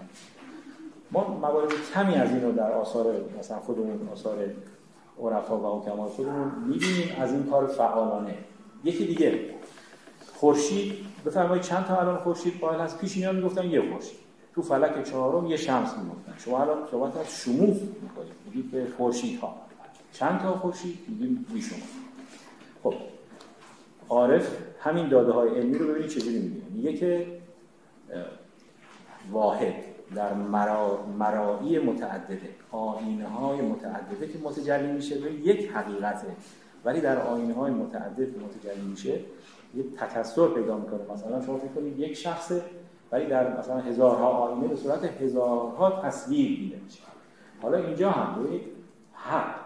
چون الله نور و سماوات و هست این این آیات شمس دیگه در خورشید مثلا نور حق رو میشه به عنوان مثال مثلا مشاهده کرد. خب این خورشید که متکثره به چه جهت؟ به این جهت گویا آینه ها متعدد هستن اون واحد در آینه های متعدد مثلا تکثر پیدا کرده. شما میگید هزارها خورشید این برای حاضمه عارف در واقع سنگین نیست. اون عظمت کیهان سنگین نیست و این تعدد خورشیدها سنگین نیست. ولی اینکه عامه مردم اینو بتونن حذف کنن یه کمی جای تردیده. آیا مثلا می‌تونن به نظر شما حذف کنن؟ این عظمت کیهان به این شکلی که ارائه میشه. اون شکل قدیمی که ببینید کتاب آسمانی هم مثلا اینو همراهی کردن به همون صورت ساده. مثلا گنبد آسمان و سقفی هست محفوظ مثلا به این صورت بر اساس تجربه همگانی بیان کنن. اون قابل درک هست ولی این مسئله فقط پاره از عرفا تونستن خوب اینو حذف کنن. منظومه شمسی. خب بفرمایید آیا منظومه شمسی به این شکلی که امروز مطرح میشه مثلا با اشراق نزدیکتره یا اونی که پیشینیان مطرح می‌کردن در کتابش؟ اینی که الان مطرح میشه با اشراق نزدیکتره چون چشمه نور در میان است و سیارات دارن به گرد اون میشن خب. اصلا میشه شما فکر کنید الان متو الان می‌خواید شما یک کار در واقع معنوی هم اینجا انجام بدید. صرفا داده علمی رو مثلا پای تخته برای بچه های ابتدایی می‌نویسید که این منظومه شمسی این اسمار یاد بگیر و همین و بس. خب این به نظر می‌رسه خوب کافی نیست راستش کافی نیست. حتما باید به عنوان آیت و نشانه مثلا مد نظر قرار بگیره. خود برای کسانی که موحدون هستن و هر شود که اینا به اهل حق و حقیقت باشن نمی‌تونن طبیعت و مستقل که ببینن. شما به منظومه که نگاه می‌کنید عکس رو خیار اونجا می‌بینید. مگه می‌تونید نبینید؟ نه میگید که اون یه لحظه نبینید. نمیشه که اینجوری باید ببینید شما. بعد برای این دانش آموزان بیچاره هم که الان در مثلا فرض شما الان مسئولیت آموزش به اونها یاد را به عهده گرفتید برای اونها توضیح بده این رو. براشون توضیح بدید. ببینید این خورشید رو نگاه کن این مظهر نور الانوار هست. شما اصلا خجالت نکش.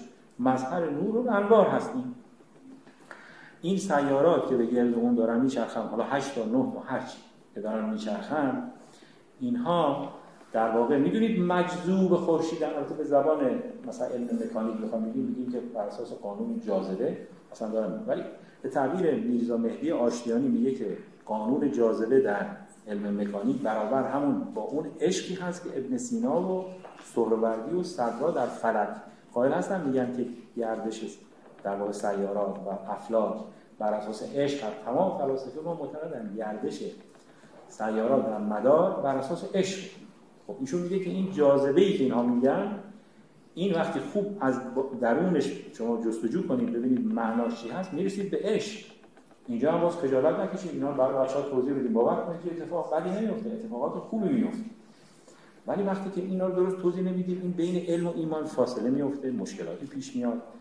اینا رو مثلا الان جاویدان خردی ها این نویسندگان محترم قرن بیستمی که به حال محل بحث بود این مسائل رو مطرح کردن و نگاه سمبولیک رو مطرح کردن. خودشون هم یه مقدار وارد این بحث شدن که مثلا گنون مطرح کرده خورشید شما میگید در مرکزه. بعد سیارات دارن دور اون میچرخن. بفرمایید آیا به صورت مدور میچرخن یا بیزی؟ بفرمایید مدور یا بیزی؟ میگی به صورت بیزی میچرخن. میگه دو کانون داره. اون یکیش شما فکر کردی چیه؟ یک سوال سنگینی که آدم اصلا تعجب می‌کنید که ایشون چیزی میگه خب بیزی دو کانون داره میگه خب. شما یکی شد خورشید.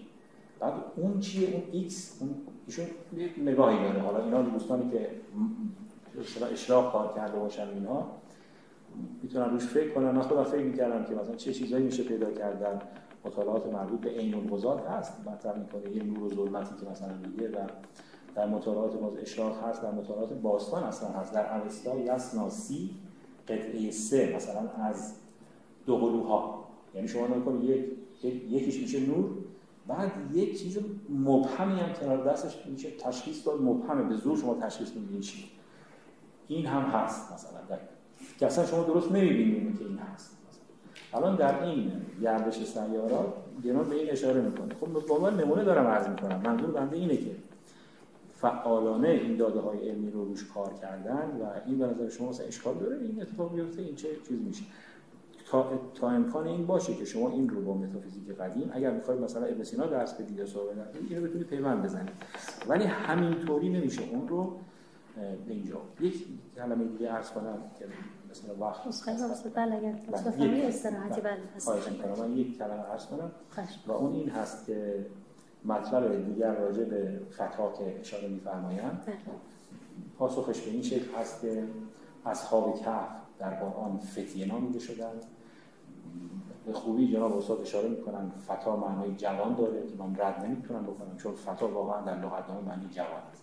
ولی رد کردن این که یک معنای جوان مرد هم به این مثلا در کنار این بشه در نظر گرفت به نظر نمی‌رسه که این به سادگی بتونیم بگیم که این نیست. می‌خوام بگم که این مدل به قابل بحث است.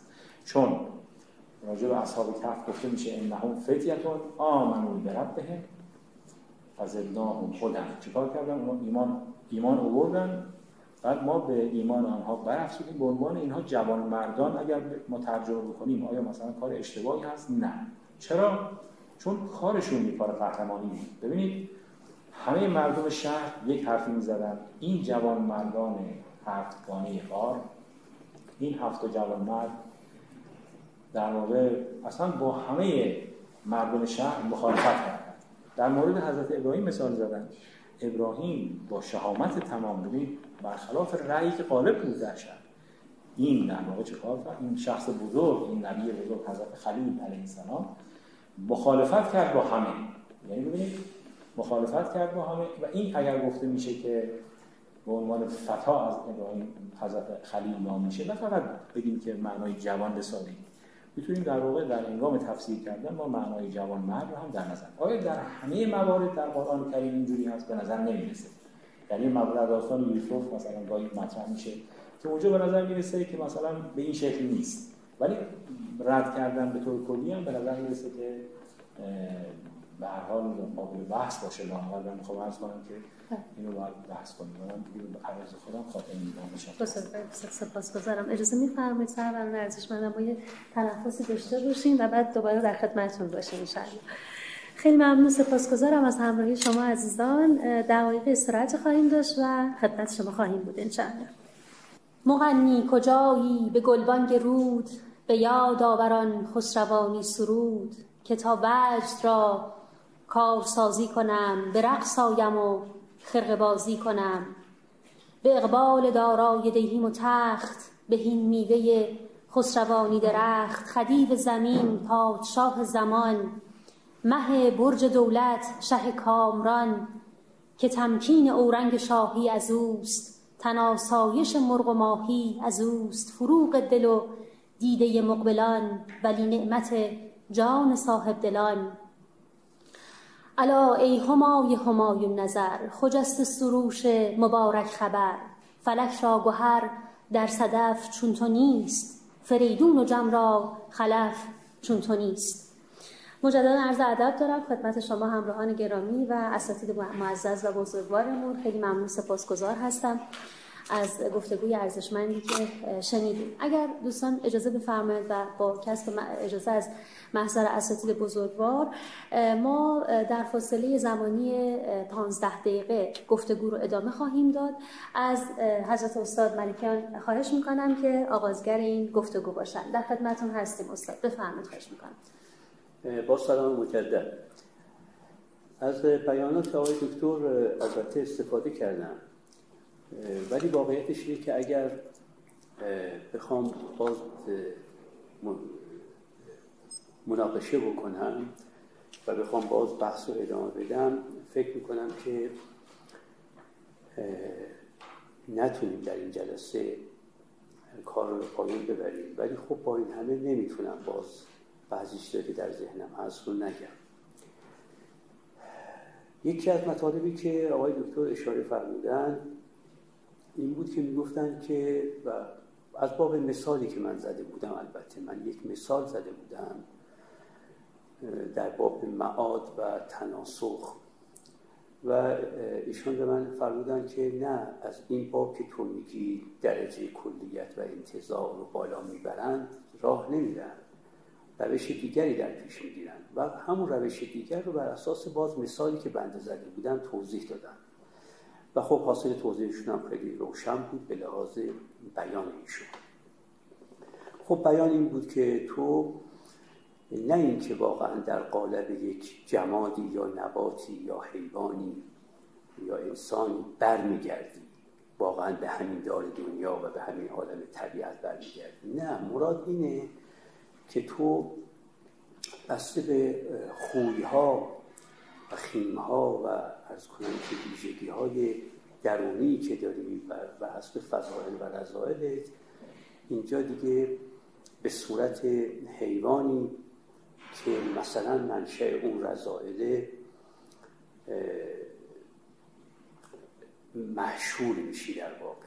وگرنه یعنی تو در واقع اگر اهل مکری به صورت مثلا فرض کنم روباه محشور میشی نه اینکه واقعا یه روباه میشی و برمیگردی تو همین کره زمین. خب من این چیزها رو خوندم دیدم خیلی دیدم.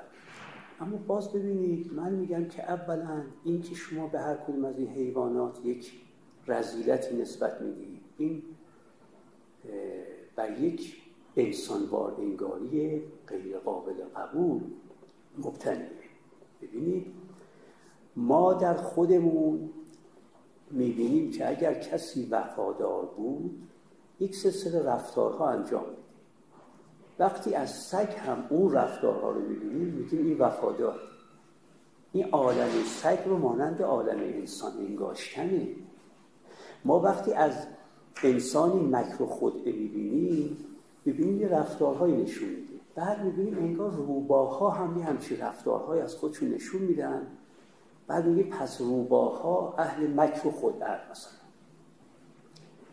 اصلا همونطور که سروران می‌دونن. ما امروزه در فلسفه ذهن می‌دونیم که انسان تا انسانه است به درون هیچ غیر انسانی راه نمی‌تونه ببره.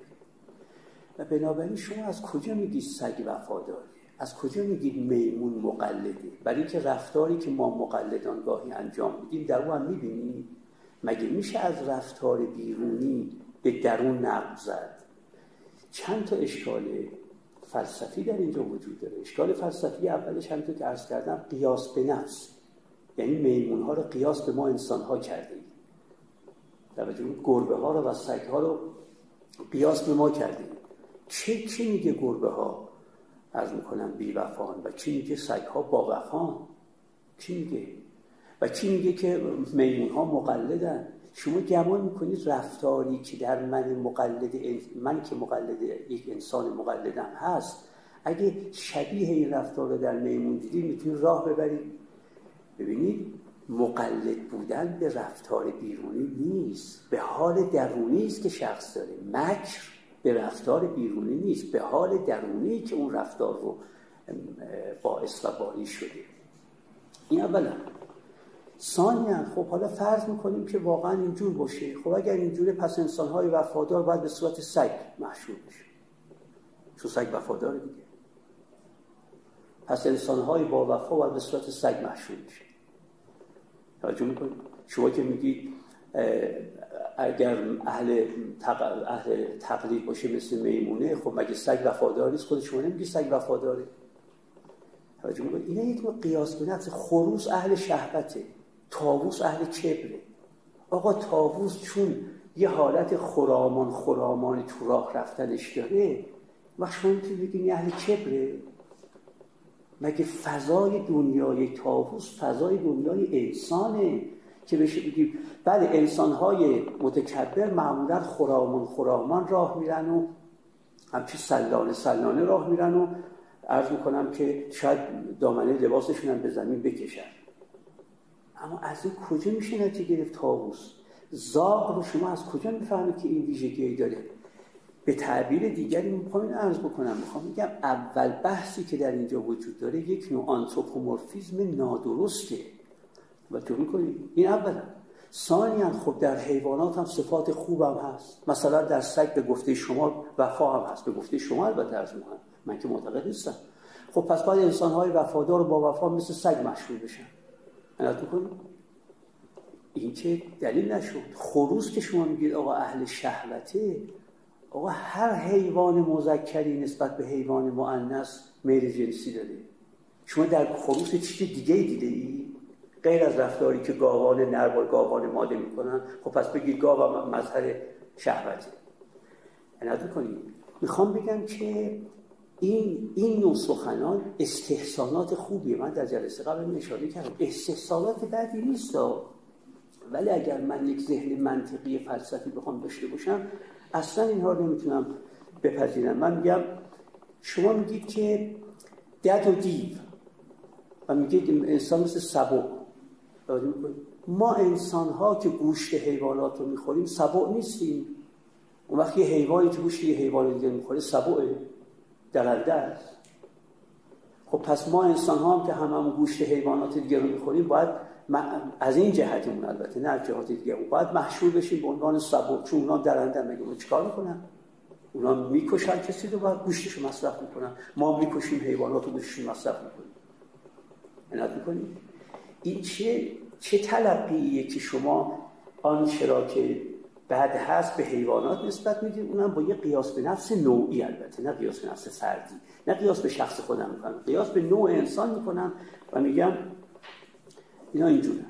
عنایت می‌کنید من همون در همون که میگید که آقا در اون مدینه فاضل عرض می‌کنم گرگ و بره بر سر چشم آب می‌خورند. من میگم خب بر سر چشم آب می‌خورن غذاشون از کجا می‌خورن گرگ مگه غیر بره غذای دیگه هم می‌تونه بخوره؟ به, به آبشون نگاه می‌کنی میگید خب ببین چقدر مهربان شدن با هم آبشون با هم می‌خورن بله ولی بعد وقتی آب می‌خورن که سیر شده باشن. و گرگ با چی سیر میشه؟ با بره سیر میشه. می‌خوام بگم اینا رو من یک ذهن ارز کنم که شاعرانه می‌تونه اینا رو بپذیره. اما فکر می‌کنم یه ذهن ارز کنم فیلسوف نتونه رو بپذیره. من نمی‌دونم چرا ما میایم میگیم زاغ و تاووس و اینا که دیدید که تو کتاب های مختلف از مولوی گرفته تا بقیه این نسبت ها نسبت است که اولا نشان دهنده یک قیاس به نفس نوعیه ثانیا نشان دهنده اینه که توجه نمی کنیم که در همین حیوانات هم اگر دنبال بگردید صفاتی شبیه صفات خوب انسان ها هم پیدا می‌کنید. البته میگم نیست میگم که صفات بد پیدا می‌کنید خب صفات خوب هم پیدا کنید. و ثالثا اینا همش ناشی از یک عجب نوعیه. عجب نوع بشر. میگه اگر به صورت انسان محشور بشم معلوم خوبم. ولی به صورت شطور محشور بشن بدن این عجب نوعیه. نوع بشر یه عجبی داره. و ما متاسفانه در الهیاتمون به این عجب دائما دامن. انسان اشرف مخلوقات است. سخر لکن ما فی السماوات و ما فی الارض. هر چیز در آسمان ها و زمین هست برای انسان آفریده شده. انسان مثل سوسک نیست که وقتی پاش روش گذاشتن صفر صفر میشه. انسان روحش باقی میمونه. فقط انسان اختیار داره بقیه موجودات مجبورن. انسان عقل داره بقیه موجودات به حکم غریزه عمل می‌کنن. کنیم اینا همش یک سر عجب نوعیه دلیلتونه بیاریم بله منم نوازش میشم. منم به عنوان یک فرد انسانی نوازش میشم وقتی این صفات رو به انسان نسبت بدید که اشرف مخلوقات همه چیز رو برای او آفریدن. هم از اون لولاک لما خلقت الافلاک حالا چه خطاب پیامبر باشه چه خطاب نوع بشر باشه هر چی می‌خواد. توجه می‌کنید؟ ما روح داریم ما آزادی داریم ما اقلانیت داریم ما دستخوش چیز نیستیم غریزه نیستیم. ما بر سرنوشت خودمون حاکمیم. همین رو شما نیستید به چه دلیلی اینا رو میگید؟ و من بارها و بارها گفتم که هر وقت سخنی ناز و نوازشمون می‌کنه باید بیشتر در ادله اون سخن تشکیک کنیم. توجه می‌کنیم ببینید خیلی ساده بر شما بگم. اگر ما دو تا دو تا پزشک بیان راجع مادر من به من خبر بدن. یکی بگه مادرتون مبتلا به سرطان. یکی بگه مادرتون مبتلا به سرماخوردگی عادی. کدوم که این دو تا خبر بیشتر من ناز و نوازش می‌کنید این که بگن مادرتون سرماخوردگی عادی داره درسته؟ اینه که می‌بینی. این که میگه مادرتون سرماخوردگی عادی داره فوری قبول می‌کنم حرفشو. اون که میگه سرطان داره میگم آقا این پزشک از کجا مدرک گرفته؟ بگی ببینم. ایشون چند تا جراحی موفق انجام داده؟ عضو چه بردیه؟ چند تا دانشجو تربیت کرده؟ اصلا این ام آی مادر من رو دیده با دقت دید نکنه عجله داشته. ببینید وقتی خبر بد, بد می‌دید دائما تو اسناد و مدارک و مستندات اون خبر بد هی تشکیک می‌کنه اما وقتی مریض پزشکی میگه که مادر تو سرماخوردگی پیدا کرده نمی‌پرسم مدرکت کجاست؟ میگم تو خبر خوبی. با اینکه عقل بشر اقتضای درست خلافه. عقل بشر میگه هر خبری که ناز و نوازشت می‌کنه چون این ناز و نوازشگری ممکنه علت قبول اون خبر باشه تو بیشتر مداقه کن تو ادله و مستندات اون خبر. تو خبرهای بد کمتر تشکیل کن.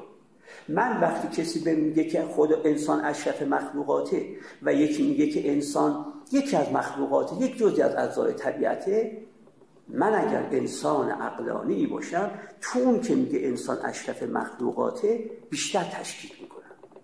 چون میگم اینجا ممکنه میل من مانع بشه که من عیب و نقصای ادله رو ببینم. اما اون که خلاف ناز و نوازشم حرف می‌زنه اونجا کمتر این شک هست. شما اومده تمام اخبار خوش رو گفته دوست که جاودانه باشی یا نه؟ میگیم بله میگی جاودانه. دوست داری که اختیار داشته باشی یا مجبور میگیم اختیار؟ دوست داری که ارز کنم که بر سرنوشت مسلط باشی؟ میگم بله. دوست داری که همه چیز نوکر تو باشه یا تو نوکر همه چیز؟ میگیم دوست داری که همه چیز نوکر من باشه همه چیز برای من آفریده شده باشه دوست داری تو اشرف مخلوقات باشی یا دیگری همه اینا رو از من پرسیده ای اونایی که گفتم دوست دارم و بعد گفتید همش هم واقعیت همینه. بعدم میگید دین بر اساس فطرت یعنی بر اساس خوشایند ماست. هر چی خوشایندمون بود دینم گفت درسته شما این دقت بکنید تمام لب سخن اینه که هر چیزی که شما دوست دارید و دین میگه هست. دوست داری زندگی پس از مرگ باشه یا نباشه؟ بعد دوست داری باشه. دوست داری خوبی گم بشه یا گم نشه؟ دوست داری خوبی گم نشه. بعدی دوست دارید گم بشه یا گم نشه؟ نه دوست دارید گم نشه. خب هر چی دوست داریم رو میگن همین جوره. بعدم میگن ببین دین بر اساس فطرته. میگیم یعنی چه اساس فطرته میگن ببین هر چی میگی مطابق با فطرته. یعنی هر چی می‌بینی مطابق با خوش... خوشایند توه. خوشایند غیر از نیازه. خواسته غیر از نیازه. خوشایند غیر از مصلحته. در این گونه موارد من یه عجب نوعی می‌بینم که بله چون اینا ما از اینا بالاتریم اون وقت بنابراین هر کم از متهم می‌کنیم به یک صفت قبیح و بعدم میگیم که حواستون باشه مثل این محشور نشیم در باب این که راجع به خاک و اینا فهمیدن که آقا خاک رو همون جامد بگیرید. آب رو هم همون مایع بگیرید. خب ببینید اشکال نداره بگیرم. اما قبول کنید که پس قبول کرده ای که اون طبیعیات دیگه راه بطلان رو در پیش گرفته. اونا دیگه باطل شده. رو به ابطال داره. قبول کرده ای؟ حالا اومدید به ما میگید که خب اینو به جای این بگیری اونو به جای این بگیری اینو به جای اشکال نداره می‌گیری. اما اولا اینکه اون چهار تا در بیاد دقیقا نیست. بعد از اون مگه فقط تو جهان جامدات فقط خاک بودن که گفتن خاک؟ نه خاک به خاطر همون تئوری چارگانهشون بود. مگه فقط تو عرض می‌کنم که گازها فقط آب خب کربن هم گازه. نه این واقعا بر اساس همون چهار تا عنصری که قائل بودن گفتن. فکر نکنید اینا رو روز اول که می‌گفتن نماد چیز دیگری می‌گرفتن. نه از اول منظورش از خاک همین خاک بوده آب همین آب بوده آتش هم همین آتش بوده. خب حالا شما میگید چون اون از بین رفته یه چیزی که بگیرید اشکال نداره می‌گیرید ولی قبول کنید که پس اون مبنا رفت. این بنا رو باید ببینیم با مبانی جدید بازم میشه حفظش کرد یا نه. دیگه ما مبانی قدیم نمیشه حفظش کرد. و به همین ترتیب شما میگید که افلاک لایه به لایه است فقط اشاره داریم به اینکه ما بشر محاط در قدرت های بالاتر از خودمون هستیم. خب باشه ولی چرا تعداد قدرت ها نه تاست چرا؟ و بعد از اون مگه نمیشه یه قدرت فقط بر ما احاطه داشته باشه چرا باید نه تا قدرت بر ما احاطه داشته باشه این اونو نمی‌خواد بگه. واقعا چون معتقد بودن افلاک و ثوابت اونجوریان که بطلنگوز گمان می‌کرده دیگه خیلی به نظر من عقب نشینیه که بگیم آقا این افلاک نهگانه که می‌گفتن می‌خوان بگن شما محاطی در قدرتهایی در نیروهایی محصوری عرض می‌کنم این برابرتون بسته از خیلی قدرت مانور ندارید حواستون جمع باشه که منقاد باشید سرکشی نکنید ببینید چقدر نیروها بر شما مسلطن. خب اگه این نیروها مسلطن چه یک نیرو نگفتید؟ بگید یه نیرو بر شما مسلط نیروی خودم. چرا باید نقطه باشه و چرا اصلا باید بیش از یکی باشه و چرا ازش باید نه باشه همه اینها انصافش اگه بخوایم بدیم. به گفته یکی از دوستان ما می‌گفت که یکی از منابع شناخت انصافه. که وقتی تو بحث رو هم کردیم گفت انصاف بدید انصاف هم یکی از منابع شناخته.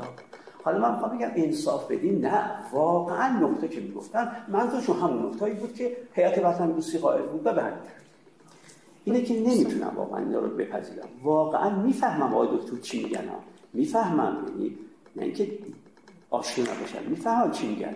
اما میگم امروزه دیگه نمی‌تونم من به عنوان یه آدمی اینا رو بپذیرم. اینا برام مناقشه درش هست. بعد عرض می‌کنم و اما آخرینش هم من آخرینش هم بگم میگن که خب مگه شما نمی‌بینید که زمین الان مگه ما زمین ساکن نمی‌بینیم؟ میگن بله بله بنا بود عالم واقع رو به ما بگید نه عالم نمود را.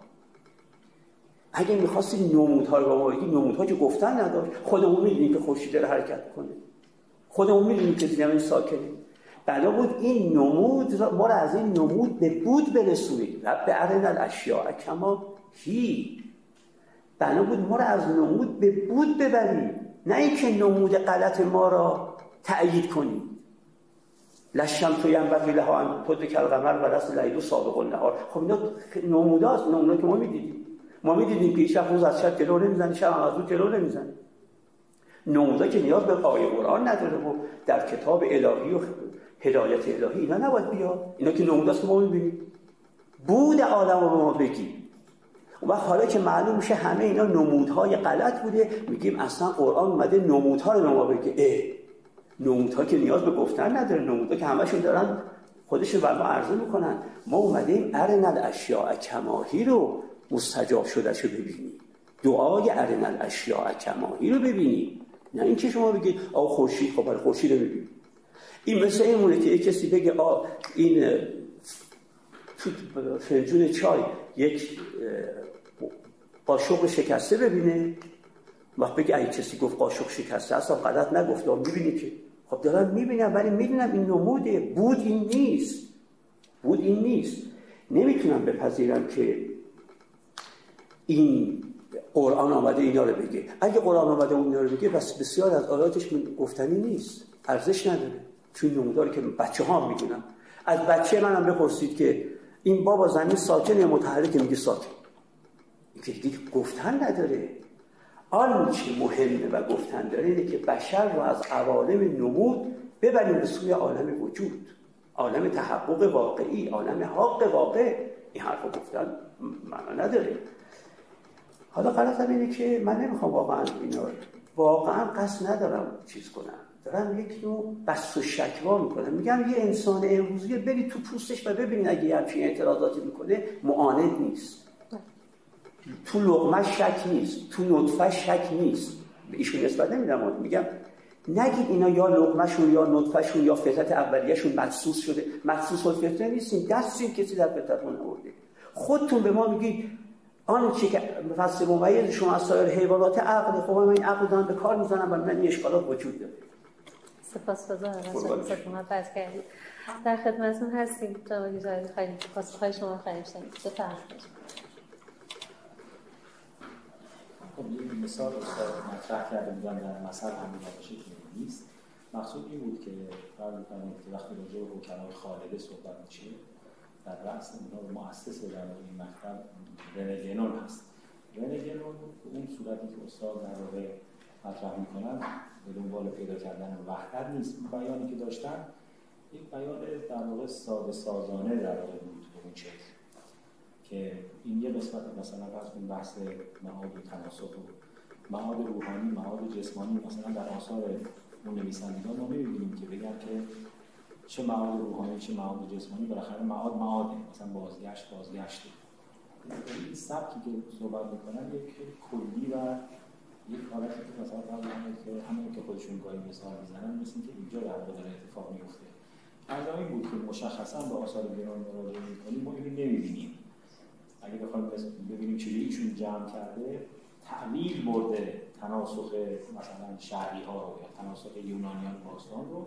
و به معاد نزدیک کرد. یعنی مثلا یه شکل خام دستانه در واقع ترسیم میشه واقعا وقتی که بخوان حکمای در مثلا توضیح بدن که این واقعیت نداره در آثار اونها به این شکل بعد راجع به علم باز مطالبی رو فهمیدن نمودها کجای خودش هست. ارزش ذاتی هم که نداره نمود. ولی اون چیزی که مطرح میشه اینه که آینه هایی هست نمودها برای جلوگر ساختن اون بودها. همون که خودشون اشاره کردن. ما الان بحثمون این نیست که به در نمودها توقف کنیم. نمودها در واقع سکوی پرش ما هستن برای رسیدن به بودها. مثلا افلاک تو بر تو می‌تونن به عنوان یه امکان عرض کنن. نموداری باشن از محیط و محاط. یعنی این احاطه مرتبه بالاتر وجود نسبت به پایینتر رو به رمز در صورت تمثیلی دارن به ما نشان میدن. طبق این نگاه ما زمینی ها احاطه شدیم توسط حقیقت. احاطه شدیم توسط تقدیر. تقدیر بر ما احاطه کرد. مثلا اشاره می‌کنیم گنبد فلک. و بعدم در هنرهامون هست. الان در محوطه مؤسسه پژوهشی حکمت و فلسفه یک مسجد ساده ای هست و یک گنبدی هست. گنبدی داره این مسجد. به رنگ مینا. این یعنی گنبد مینا رنگی هست این از روی گنبد فلک گرفتن. یعنی همون نمودی که استاد به اشاره می‌کنن. نکنیم نمودی که ما زمینیان نگاه می‌کنیم میگیم گنبد بالای سر ما. در قرآن می‌خوانیم سقف محفوظ. خب اینا ببینید نمودهایی هست. بعد اون وقت تفکر در اینها شرطه. استاد به خوبی اشاره می‌کنم بس حقایق شرطه که ما از اینجا بتونیم پرواز کنیم به حقیقت. از نمود به بود حرکت کنیم و بریم. این این مهم حالا این نمودها هست. حالا مثلا فرض در هنر سنتیمون این گنبد رو به این شکل می‌بینیم. و وقتی که کتاب ابن سینا رو مصلح کردیم تیکه تیکه کردیم بیختیم دوری بخشی شد. کتاب سوال بردی رو همین کار کردیم. کتاب طبیعات اسوار هم ریختیم بود بعد این هنرهای سنتی رو کسا متوجه نمیشید و ببین دیگه حداقل من می‌خوام عرض کنم که مطالعه طبیعات قدیم جنبه های مختلف داره. اصلش برای حقیقت. به چه صورت؟ در آینه نمودها مثلا من نور حسی رو می‌بینم پرواز می‌کنم به نور الله نور و سماوات و به این یعنی به عنوان آیات ما به پدیدارهای طبیعت نگاه می‌کنیم. اصل مطلبمون اینه. ولی فواید دیگری که داره از جمله اینکه ما هنر خود ادب خود ادبیات خودمون رو گفتیم شعر حافظ نمی‌فهمیم مگر اینکه طبیعتمون خوب باشه. قرآن رو نمی‌فهمیم مگر اینکه طبیعتمون خوب باشه. آثار عرفا رو که سیر خودشون رو توضیح میدن نمی‌فهمیم مگر اینکه در واقع طبیعتمون خوب باشه.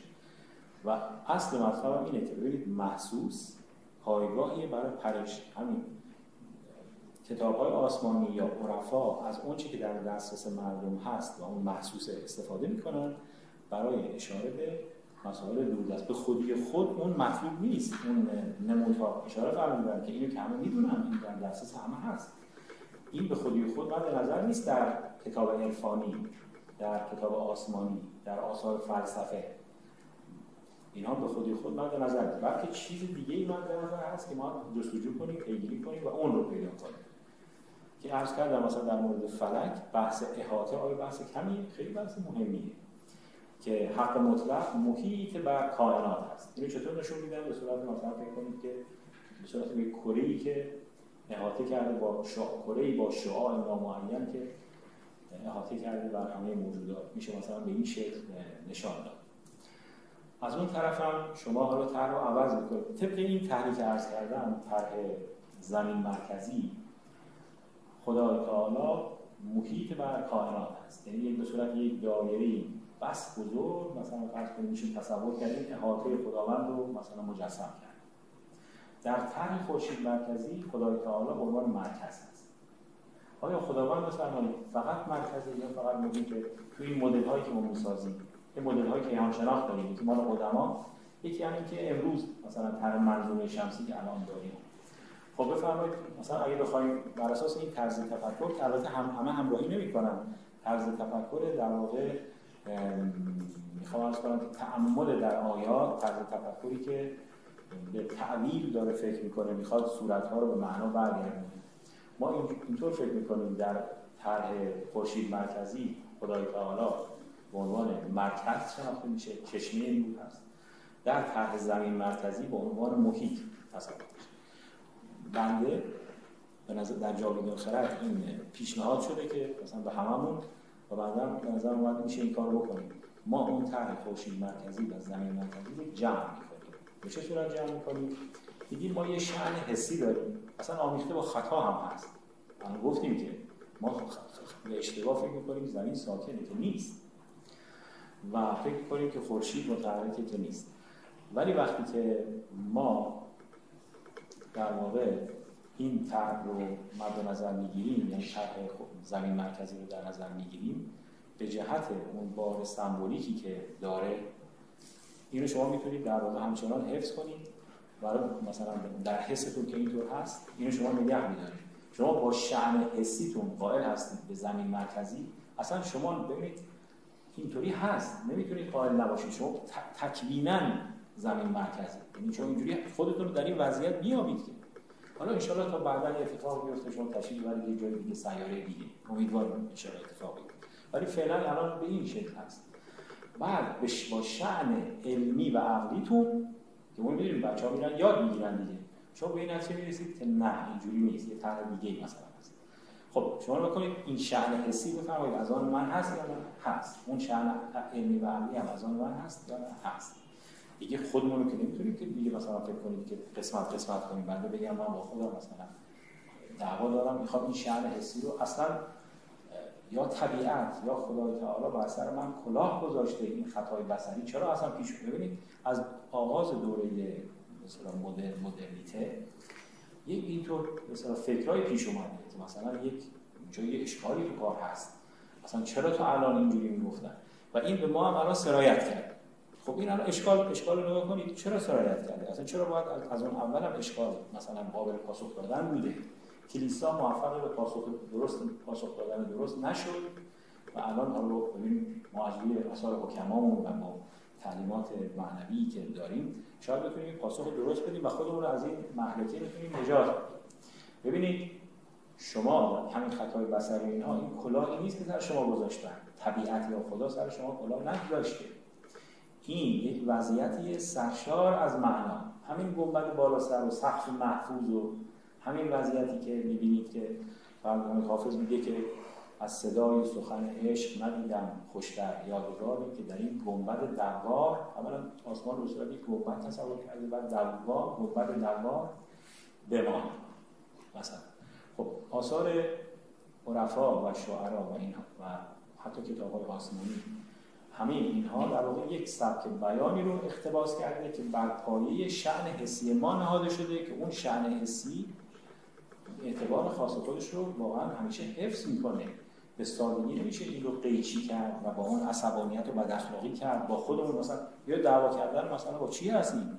با خودمون داریم با طبیعت دعوا می‌کنیم یا با خدا داریم دعوا نمیشه شما این وضعیتی که درش هستید همینی که هست دیگه به این صورت فعلا. این رو مثلا فرض بفرمایید خب معناشو به دست بیارید خب این در این قسمت. شما اگر معتقدید که در آغاز مدرنیته یه اتفاق بزرگی افتاد داده های علمی چنین و چنان بود بنده خیلی با شما همراه نیستم. این داده های علمی فی نفسه چیز خاصی نیست ارزش بار معرفتی آنچنانی نداره. امیدواریم آستین بالا زدن بزنن مثل پاری از عرفا یک یا دو نفر که در واقع رسولانه کار کردن از عرفای اسلامی معاصر چه کار کنیم؟ این داده های علمی در واقع معاصر رو ما روش کار کرده باشیم یه فعالیتی کرده باشیم معنای ببینید به خودی خود بیان در بولتن اختر فیزیک مثلا یا آخرین بولتن های این علم های نجوم علم نجوم امروز ما می‌خونیم یه سیارتی کشف. شد میفرمایید رو بخوام بعد ما چکار کنیم یه سیارتی کشف. یک صحابی پیدا کردن اسمش هم شد آلفا هزار. من میفرمایید چیکار کنم؟ ببینید کافی نیست. ما الان از دید اشراق از دید مثلا فلسفه اسلامی می‌تونیم اعلام کنیم بگیم که خب این خیلی خوبه این داده های علمی. ولی به خودی خود الان این چه تبختریه که الان علم روز اینجوری شد اونجوری شده بسیار خوب داده های فراهم شده. شما اگر اون فعالیت انجام بدید و به سرمنزل مقصود برسونید بعد واقعا جای تعریف داره. بعد از شما ستایش به عمل بیارید. مثل اون بحثی داشتیم که یک یک شی در برابر هزارها آینه. ببینید مثلا این این این درست شد. شما معنای سیاه چاله رو برای ما توضیح بده. بفرمایید. توضیح بدید. یه مقدار اینجا متافیزیک ببینید بحث همش هم که دیگه این علم زدگی و اینا که قابل پذیرش نیست. بالاخره یه جایی باید باز بشه برای مثلا فرض کنید فلسفه به طور کلی مثلا فلسفه افلاطون شاید حرفایی داشته باشه. فلسفه اشراق حرفایی داشته باشه. ما که دیگه الان در دوره پوزیتیویسم نیستیم. بگیم فقط علم ما با منابع کشف استادم هرگز چنین نگفتن با منبع کشف کاری نداریم. با منبع وحی مثلا کاری نداریم. با برهان با برهان فلاسفه کاری نداریم. و می‌خوایم در واقع همین که هست همین داده ها رو می‌خوایم مطلق کنیم. خب داده ها رو که مطلق می‌کنید یه قفسی ساختیم. اصلا این چه چه زندگیه؟ بعد شما اون وقت با این تمدن مبارکتون به کار به جایی رسیده تا 20 سی. اگر بشر نجابه که نمی جمله حرکت نمی‌کنه چون فعالان محیط زیست گفتن که رؤسای کشورها که جمع شدن که تصمیم می‌گیرن راجع به محیط زیست کارشون به اصطلاح اصلا جدی نیست. اصلا اومدن اعتراض کردن. ولی چون دست بالای دست بسیارن به فعالان محترم محیط زیست هم میشه گفت شما هم کارتون کارتون زیاد درست نیست. چون شما منقلب نشدید. یعنی باز اون تفکرات امروزی رو باز دارید. شما مثلا باید کاملا یک سیر و سفری می‌کردید و از این وضعیت خارج می‌شدید. بعد می‌تونستید واقعا اصلاحگر محیط زیست باشید. ولی شما هم تو همین وضعیتی یعنی اینا به سیاست مدار میگن جدی نیست. ما هم کتابی داریم. مثلا امثال استاد سید حسین نصر تو مسائل محیط زیست دارن می نویسن بیان می‌کنن. چون هم داره میگه که خب باز به این سادگی نیست که شما محیط فعالان محیط زیست میگن. فعالان محیط زیست کارشون خیلی ارزشمنده. ولی منظور اینه که از حیث نظری احتیاج به تقویت دارن احتیاج دارن که متوجه بشن که وقتی خیلی چیزا رو باید بدونن مثلا مسائل مختلفی که در طبیعیات قدیم هست در ماورد طبیعی قدیم هست. مثلا با سنت باید مقدار بیشتر آشنا بشن خب ببینید به این صورت حالا بحث آب و باد و آتش و خاک و اینها که مطرح میشه. باز به عنوان نمون یعنی اینها که گفته میشه مثلا به عنوان نمون هست ما به خودی خود نمی‌خوایم چیزی بگیم. ایشون میفرمایند که خب علم جدید گفته جامد و مایع و گاز و مثلا فلان این خیلی چیز مهمی هست. حالا ما می‌خوایم چیکار کنیم؟ توجیه کنیم آب و باد و خاک خاک, خاک آتش رو نجات بدیم از نابودی. مثلا خیلی اصلا به این صورت نیست. اصلا به این شکل شما الان فکر می‌کنید یک قوی به نام مثلا وضعیت موجود بعد یه ضعیفی به نام طبیعت قدیم می‌خوایم زیر بغلش رو اینجوری نیست. راستش این وضعیت موجود تا وقتی که اون تعبیل ها نیاد یعنی این داده های علمی تا یک مثلا روشون کارهای ببینید در فلسفه قدیم کارهای ظریف فکری انجام شد. روی همون طرح بحث‌نویسی فلاسفه خیلی کار کردن. ولی شما الان اینجا چه کار کردید؟ شما یه داده هایی دارید تحویل می‌دید. و چه خوبه که اینجا مثلا این اتفاقی افته ببینید مثلا خلافی الان چیز نمیشه مطرح نمیشه. منظور اینی که در واقع اون چه که در علم به دست میاد مثلا شما میفرمایید این منظومه شمسی ماست توصیفش می‌کنید خب ما داریم الان من به عنوان یک کسی که داره اشراق کار می‌کنه میگم که ما اینجا یک قهری می‌بینیم یعنی خورشید قاهر هست بر سیارات. بعد سیارات مجذوب هستند به خورشید. این عین صحبت های اشراقیون هست. ببینید اشراقیون میگن از پایین به بالا شوق و عشق از بالا به پایین قهر و غلبه خب من الان در منظومه واقعا دارم اینا رو می‌بینم. یعنی یه مدل مناسبی هست برای اشراق این منظومه. ما الان داریم می‌کنیم بهره های نظری می‌بریم در همین داده های جدید. ولی اگه منظورتون اینه که این داده های جدید خیلی الان مهمه و بعد در مقابلش حقارت مثلا پیشینیان اینجور چیزی نیست. چرا حقارت پیشینیان؟ تو کجای فکرشون مثلا حقیر هست؟ شما اگه کتاب آسمانی رو می‌فهمید چون این بحث این طرحها در کتاب آسمانی هم هست در اون حقارتش کجاست؟ من نمی‌دونم. بعد حقارت کتابای فلسفه کجاست؟ مثلا که میگه من حقارت کتابای ابن سینا خیلی اشتباهه. کجا کی گفته اینجوری بعد حقارت کتابای مثلا شیخ اشراق کتابای مثلا طبیعیات اسباب مثلا به نظر ما برسه که این هیچ و پوچه. خب یه اشتباهی شده. از غرب این اشتباه شروع شده. الان به ما هم سرایت کرده خودمون از چشم خودمون افتادیم. آخرش هم ممکنه اینجوری بشه. مثلا راه بیفتیم یه کلنگ و بیلی برداریم البته با اجازه معاون محترم آموزی اداری مالی مثلا و این گنبد چیزی اصلا کنید این یه اشکالی اصلا هست. اصلا یه مشکلی الان ما داریم. این چرا گنبد باید باشه یعنی دست به دست هم میدیم و این گنبد رو برداریم. حالا من عرض می‌کنم بقیه مسجد از بین بره ولی این گنبد اصلا فکر کنید یه بعد اون وقت نگاه کنید یعنی مشکل حادیه که به نظر یه ایده رسیده هم در کتاب‌های فلسفه مثلا یه مشکلی هست و اون بخش طبیعیات. هم در فرض کنید آثار عرفا چون عرفا همش مراتب رو بر اساس کیهان شناخت قدیم دارن توضیح میدن. همه اینها رو باید مثلا فرض کنید بخوایم این مشکل رو برطرف کنیم. منتها یک کسی نیست که یکی خیش را تعویل کنه ذکر را کرده ای تعویل حرف را. یعنی شما این دیدگاه خودتون رو که از خودتون هم که نیست. اینها مثلا چند قرن این روحیه پیدا شده که این روحیه به نظر شما اصلا مثلا الان بنده می‌پرسم مثلا این چه دلیل و برهانی داره این روحیه؟ مثلا شما چجوری می‌تونید از این روحیه انکار و اسیانی که در بشر امروزی به وجود اومده که میگه خدا سر من کلاه گذاشت طبیعت سر من گذاشت. شما بر اساس چه استدلالی می‌تونید از این دفاع بفرمایید خیلی ممنون سپاسگزارم. با توجه به اینکه زمانی دیگه نداریم اگر اساتید بزرگوار اجازه بدن ما ختم بکنیم گفتگو رو. اگرچه که واقعا این گفتگو بسیار شیرین و شنیدنی هست و به نظر می‌رسه که این گفتگو همچنان بایستی ادامه دار باشه. اما به جهت اینکه خب ما زمانی بیش از این نداریم و باید در واقع تصویر رو کم بکنیم. اگر اجازه بفرمایید همینجا با اجازه سروران ارزشمند ما جلسه رو ختم کنیم. بله بله من دو نکته در بیان آقای دکتر بله. بود که خیلی می‌خوام برش تاکید کنم. و بله. کسانی که نه اصلا کمتر. بله بله سه دقیقه فقط. سه دقیقه سه دقیقه بله بله. یک نکته که کسانی که آشنایی دارند با کارهای من می‌دونن که لاقل 25 سالی که این دو نکته که آقای دکتر میگن رو من برش تاکید می‌کنم. یک نکته ای که ایشون فرمودن اینه که تا وقتی روحیه ما روحیه مادیت اخلاقیه نمیگم مادیت فلسفی چون اکثر ما مادی نیستیم بلا فلسفی گویا اما مادیت اخلاقی داریم. یعنی تا وقتی برامون داشتن مهمه و تا وقتی مصرف زده و تا وقتی به نیازهامون اکتفا نمی‌کنیم و دنبال خواسته هامون میریم بحران محیط زیست ادامه پیدا می‌کنه روز به روزم تشدید میشه و بنابراین ما داریم در واقع سرنا رو از سر گشادش می‌زنیم. در واقع تا وقتی روحیه مادیت اخلاقی و اینکه پول ارزش ارزش هاست و اینکه هر چه بیشتر مصرف کنیم ارزشمندتریم و اینکه باید به خواسته هامون هی مجال و میدان بدیم.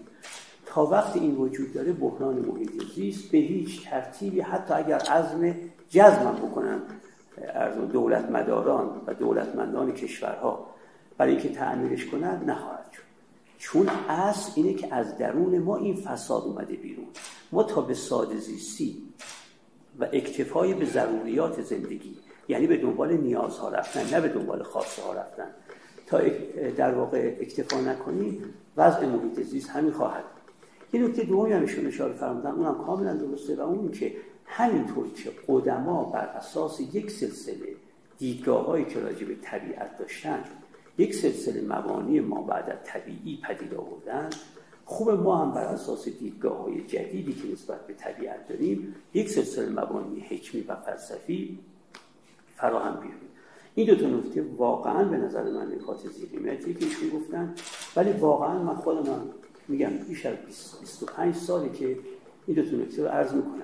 بنابراین در این دو نکته من با ایشون کاملا وفاق دارم. خود این دوتا هم البته فکر نکنیم که وفاق دوتا مثلا بنده و حضرت ایشون چیز کم اهمیتی به دلیلی که اکثر متفکران ما به این چیزا توجهی نمی‌کنن و فکر می‌کنن با همون نگرش ماتریالیستی و مادی انگارانه میشه مشکلات رو رفع کرد. من همین خیلی ممنون. سپاس گذاریم.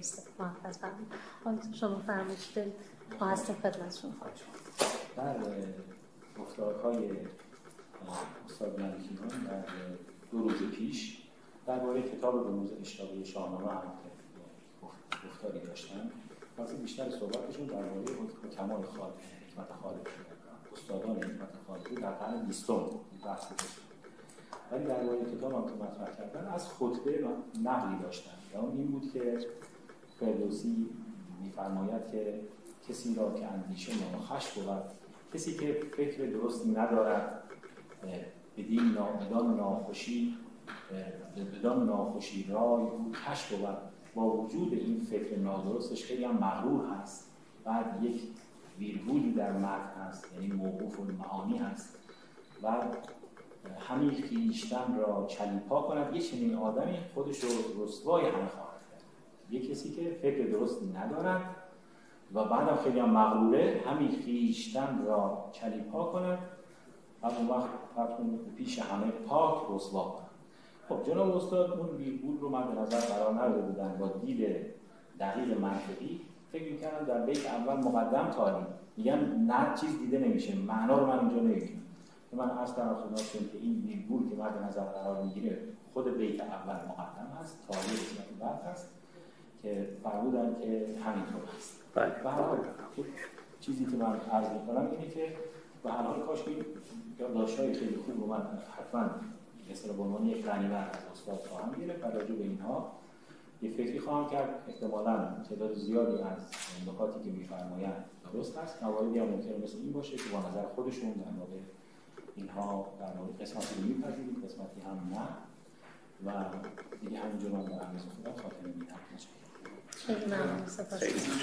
خیلی ممنون. تشکر از شما سپاس گذاریم کمال سپاس امتنان داریم. از اساتید بزرگوارمون من بنده کمترین به نوبه خودم بسیار استفاده کردم و امیدوارم که این گفتگوها پایان راه نباشه و آغاز راهی باشه برای محققان و پژوهشگران ارجمند. از همراهی همه شما عزیزان نهایت سپاس و امتنان داریم و امیدواریم که هر کجا که هستید تندرست و برقرار و پاینده باشید. من ختام سخن رو با در واقع نیایشی از شیخ اشراق در کتاب الواح امادی ختم می کنم و همه عزیزان رو به خدای بزرگ میسپارم. بار خدایا ببخشای بر ما به تو ایمان آوردیم و اقرار کردیم و رسالات تو را مصدق داشتیم و بدانستیم که هیچ مرجعی نیست بجز از تو و هیچ یاری و قوتی نیست الا یاری و قوت تو.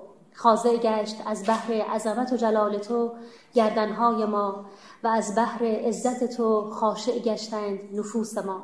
از خشم تو ما را به رضای تو نقل کن و از عذاب تو به رحمت تو و از تاریکی ما به نور تو. ایدون باد یا علی خدا نگهدار شما.